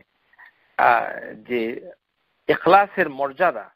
সুরা এখলাসকে ভালোবাসা মানে আল্লাহকে ভালোবাসা। আল্লাহকে চেনা এই জন্য এই সুরাটার আরেকটি নাম হচ্ছে সুরা আল মারিফা আল্লাহ পরিচিতি, এটাই হচ্ছে আহাদ। সুতরাং এই সুরাকে যে ভালোবাসবে, সে জান্নাতে চলে যাবে। আরেক লোক, সে হচ্ছে আরেক প্রেমিক, এই সুরার আরেক প্রেমিক। তাকে সে একটি মুজাহিদদের দলে ছিল। সে এই সুরা দিয়ে নামাজ শেষ করত। এ হচ্ছে আরেক আরেক স্টাইল, যেটি আয়েশা রাদিল্লাহ তালা আনহা বলে বর্ণনা করেছেন। কালাত বাসা রাসূলুল্লাহ সাল্লাল্লাহু আলাইহি সাল্লাম রাজুলান আলা সারিয়া। সৈন্য দলের সাথে এক লোককে পাঠানো হলো সেনাপতি হিসাবে। ওয়াকানা ইয়াকরাউ লি আসহাবি ফি সালাতিহিম ইয়াখতিমু ফি কুল হু আহাদ। সে প্রত্যেকটা রাকাত নামাজ শেষ করতো কুল হু আল্লাহু আহাদ দ্বারা। ফালাম্মা রাজাউ জাকারা এই ধরনের স্ট্রেঞ্জ একজনের পড়তে হলো কেরাতে শুরুতে, আর আরেকজনের পড়তে হলো মানে শেষে। কুল হু আল্লাহ পড়ছে তারা কুল আল্লাহর পাগল। কুল হু আল্লাহকে পছন্দ করে। এটাকে ভালোবাসে। আমরাও এটাকে ভালোবাসবো, প্রিয় শ্রোতা। তখন নবী সাল্লাহ সাল্লাম ওই লোকটাকে বলল যে, তুমি নামাজের শেষে বারবার এটা পড়ো কেন? তাকে তোমরা কেন এটা করো? এই কারণে কোন ধরনের মানে অ্যাবনর্মাল কোনো কাজ নামাজের ভিতরে হলে প্রথমে উচিত যিনি নামাজ পড়াচ্ছেন তাকে জিজ্ঞাসা করা। আমি একটা নামাজ পড়লাম, জানাজার নামাজ অথবা অন্য কোনো নামাজ, হয়তো মানুষ সেটা জানে না। আমার কাছে জিজ্ঞাসা না করে আমার সমালোচনা করা শুরু করে দিল। এটি ঠিক নয়। বরঞ্চ উচিত ওই লোকটাকে জিজ্ঞাসা করা, যেমনটি সাহাবিরা করেছিলেন। তাকে জিজ্ঞাসা করেছেন, নবী সাল্লাহ সাল্লাম নিজে তুমি কেন এই কাজটা করো? সে তখন একই উত্তর দিয়েছিল। সে বলেছিল সিফাতুর রহমান। এই সুরাটা হচ্ছে রহমানের সিফাত বর্ণনা করছে। সুফান আল্লাহ সে তাওহিদের জ্ঞান রাখে। ও আনা ও হেব্বু আমি এই সুরাটাকে ভালোবাসি। আন আকরা বিহা, এই কারণেই আমি সুরাটাকে পড়ি। ফকালের নবী নবী তখন বললেন, আকবিরুহু আল্লাহ ইউহিব্বুহু।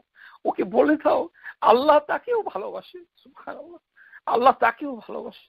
এই সুরাটাকে ভালোবাসা মানে আল্লাহকে ভালোবাসা সামিল করেছে এই ধরনের কোনো হাদিস যে আল্লাহকে সরাসরি ভালোবাসার অর্থ হচ্ছে এই সুরাটাকে ভালোবাসা।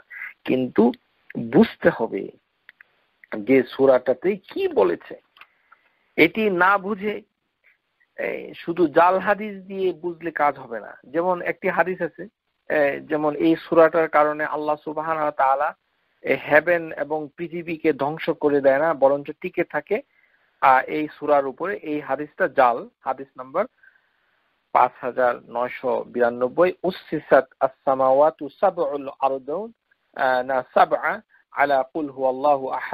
যে সেভেন হেভেন এবং এবং পৃথিবী এটি মানে ফাউন্ডেশন হয়েছে এই কুল হুয়াল্লাহু আহাদের উপর।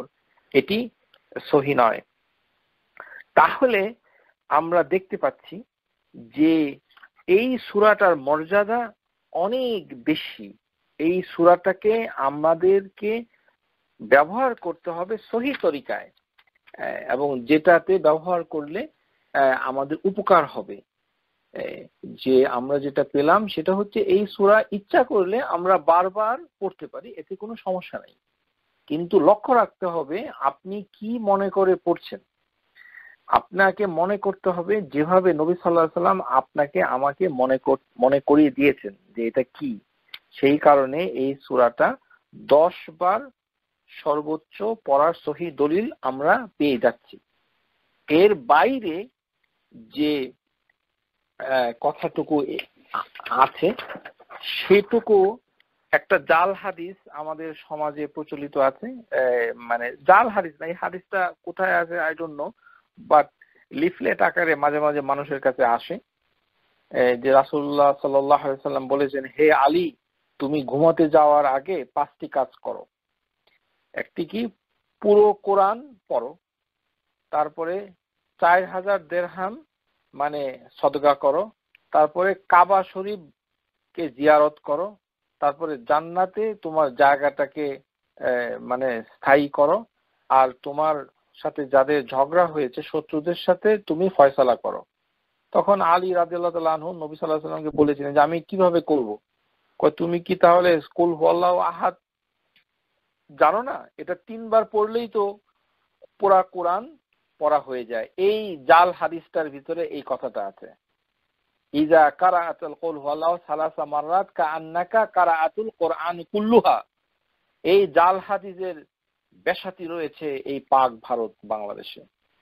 আমরা অত্যন্ত লজ্জিত এবং আমরা অত্যন্ত দুঃখিত যে আমাদের সমাজ এই জাল হাদিসের কবলে পড়ে আছে। আর এখান থেকেই আমরা ধারণা করেছি, তিনবার কলহুয়াল্লা করলে এক কোরআন খতম হয়ে যায়। আর কি, যে ঘুমাতে যাওয়ার আগে তাহলে তিনবার পড়তে হবে, এই হাদিসটা জাল। তারপরে চল্লিশ হাজার মানে চার হাজার দেড়হাম চ্যারিটি দিবে কীভাবে?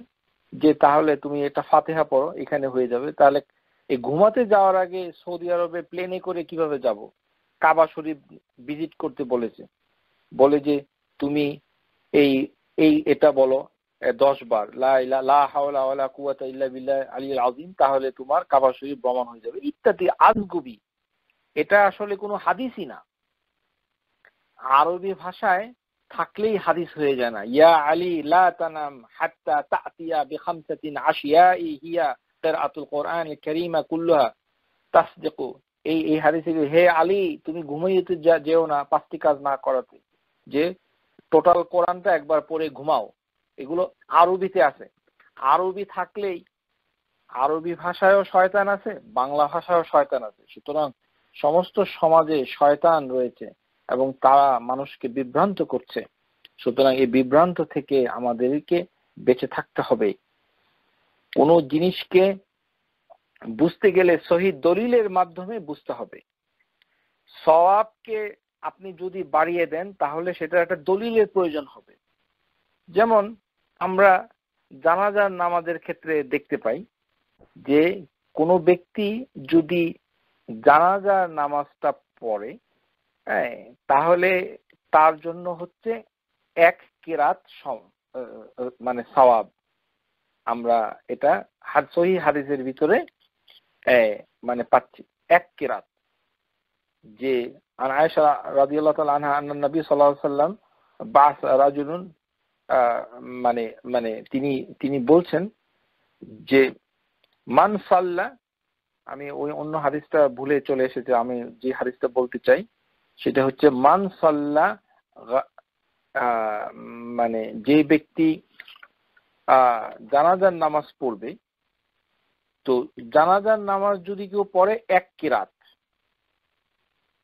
আর যদি সে আরেক মানে তাকে দাফন কার্যে যদি সে মানে মানে অংশগ্রহণ করে, তাহলে আরেক কিরাত। একটিকে আল আল কিরাতু মিসলু জাবালুল ওহদ ওহুদের পাহাড়ের সমান হচ্ছে একটি কেরাত। কেরাতাইন, কেরাতান হবে, দুই কেরাত হবে, যদি সে দাফনে অংশগ্রহণ করে। তাহলে জানাজার নামাজ পড়লে এক কেরাত। তাহলে সোয়াবগুলি যে বাড়ছে, সেটি দলিলের মাধ্যমে বাড়ছে। একজন স্কলারকে প্রশ্ন করেছিল যে যারা লাশ গোসল করায়, তাদের জন্য কত সোয়াব তখন তিনি বলেছিলেন যে তাদের জন্য কত সোয়াব এটি আল্লাহ ভালো জানে। কিন্তু জানাজা পড়লে এক কেরাত আর তাকে দাফন করলে আরেক কেরাত। কিন্তু গোসল করালে কত সোয়াব সেটা আমরা জানি না। অর্থাৎ না জেনে সোয়াবকে এভাবে বাড়ানো যায় না। এখানে যেহেতু দুই কেরাত হয়েছে, তার মানে মনের মাধুরী মিশে আরেকটা কেরাত বাড়িয়ে দেওয়া যায় না।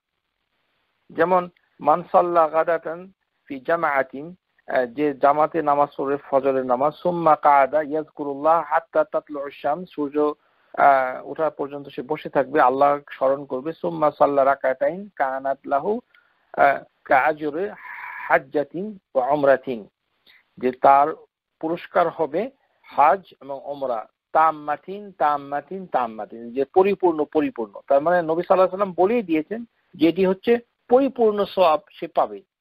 সুতরাং কোন জিনিসের সওয়াব এটা কতটুকু হবে এবং কতটুকু সমান হবে সেটি নবী সাল্লাহ সাল্লাম আমাদেরকে বলছেন। কিন্তু তিনি কোনো সহি দলিলের মাধ্যমে বলছেন না যে তিনবার পড়লে পূর্ণ কোরআন হয়ে যাচ্ছে। এটা থেকে আমরা এই শিক্ষাই পাচ্ছি যে না জেনে এইভাবে কোনো জিনিস বলাটা নিষেধ। কেননা আপনি বিপদ ডেকে আনতে পারছেন মানে আসছেন। তিনবার কুলহুয়াল্লাহ পড়লে ওই ব্যক্তিকেও সুরা ফাতিহা পড়তে হবে বলে শেখ উসাইমিন তার ফতোয়াতে বলেছেন। কেননা পুরো তিনবার কোরআন পড়লে, কোনো লোক কুলহুয়াল্লাহ পড়ল তিনবার, তার মানে এই নয় যে সে সুরা ফাতিহা পড়বে না। তাকেও পড়তে হবে। কেননা এটি হচ্ছে ওয়ান থার্ড সুরুস আল কোরআন আশা করি বুঝতে পেরেছেন। আহাদুন তাজিলু সুরুস কোরআন। এই এই এই কারণে আমরা যেটি জানব যে এটি একটি গুরুত্বপূর্ণ সুরা, এটি অর্থ সহকারে আসামাদ এবং মানে এই কারণে নবী সাল্লাহ সাল্লাম যখন এই এটা শুনতে পেলেন যে কোনো ব্যক্তি এই নামগুলো দিয়ে লামিয়ালিদ অলামিউলাদ অলামিয়াকুল্লাহু কুফুয়ান আহাদ, তখন তিনি সাথে সাথে কসম করে বললেন যে এই শব্দগুলো বলার পর অবশ্যই আল্লাহ সুবাহ তার দোয়া কবুল করবে। যদি আমরা ওই বিআন্না যেই ইসমে আজমের যে দোয়াটা আল্লাহমা ইন্নি আস আলুকা বিআন্না আশহাদু আল্লাহ ইলাহা ইল্লা আন, আল আহাদুন সামাদু আল্লাযী লাম ইয়ালিদ ওয়া লাম ইউলাদ এইভাবে যদি আমরা শিখতে নাও পারি, অন্তত কুল হুয়াল্লাহু আহাদ, এই সূরাটাও যদি আমরা পড়ে আল্লাহর কাছে দোয়া করি, তাহলেও আল্লাহ সুবহানাহু ওয়া তাআলা আমাদেরকে অনেক কিছু দান করবেন। কেননা আহাদুন, সামাদুন, এই দুটো শব্দ ওখানে আছে। ওয়াল্লাজি নাফসি বিয়াদিহি লাকাদ সাআলাহু বিইসমিহিল আযম, যে ইসমু আজম দ্বারা সে দোয়া করছে আল্লাজি ইযা সুইলা বিহি আতা যে ব্যক্তি এটা দিয়ে চাবে, আল্লাহ তাকে দিবেন আজাব। যে যদি সে দোয়া করে, সেটাকে, দোয়াকে আল্লাহ কবুল করবেন। আশা করি আপনারা বুঝতে পেরেছেন। আপনাদের সবাইকে আজকে আমরা একটা বিশেষ ঘোষণা আমার বক্তৃতার পরে দিব। তারপরে আমার, এইখানে আমার কথা শেষ করছি। ওয়া আখিরু দাওয়ানা আনিল হামদুলিল্লাহি রাব্বিল আলামিন। আসসালামু আলাইকুম ওয়া রাহমাতুল্লাহি ওয়া বারাকাতুহু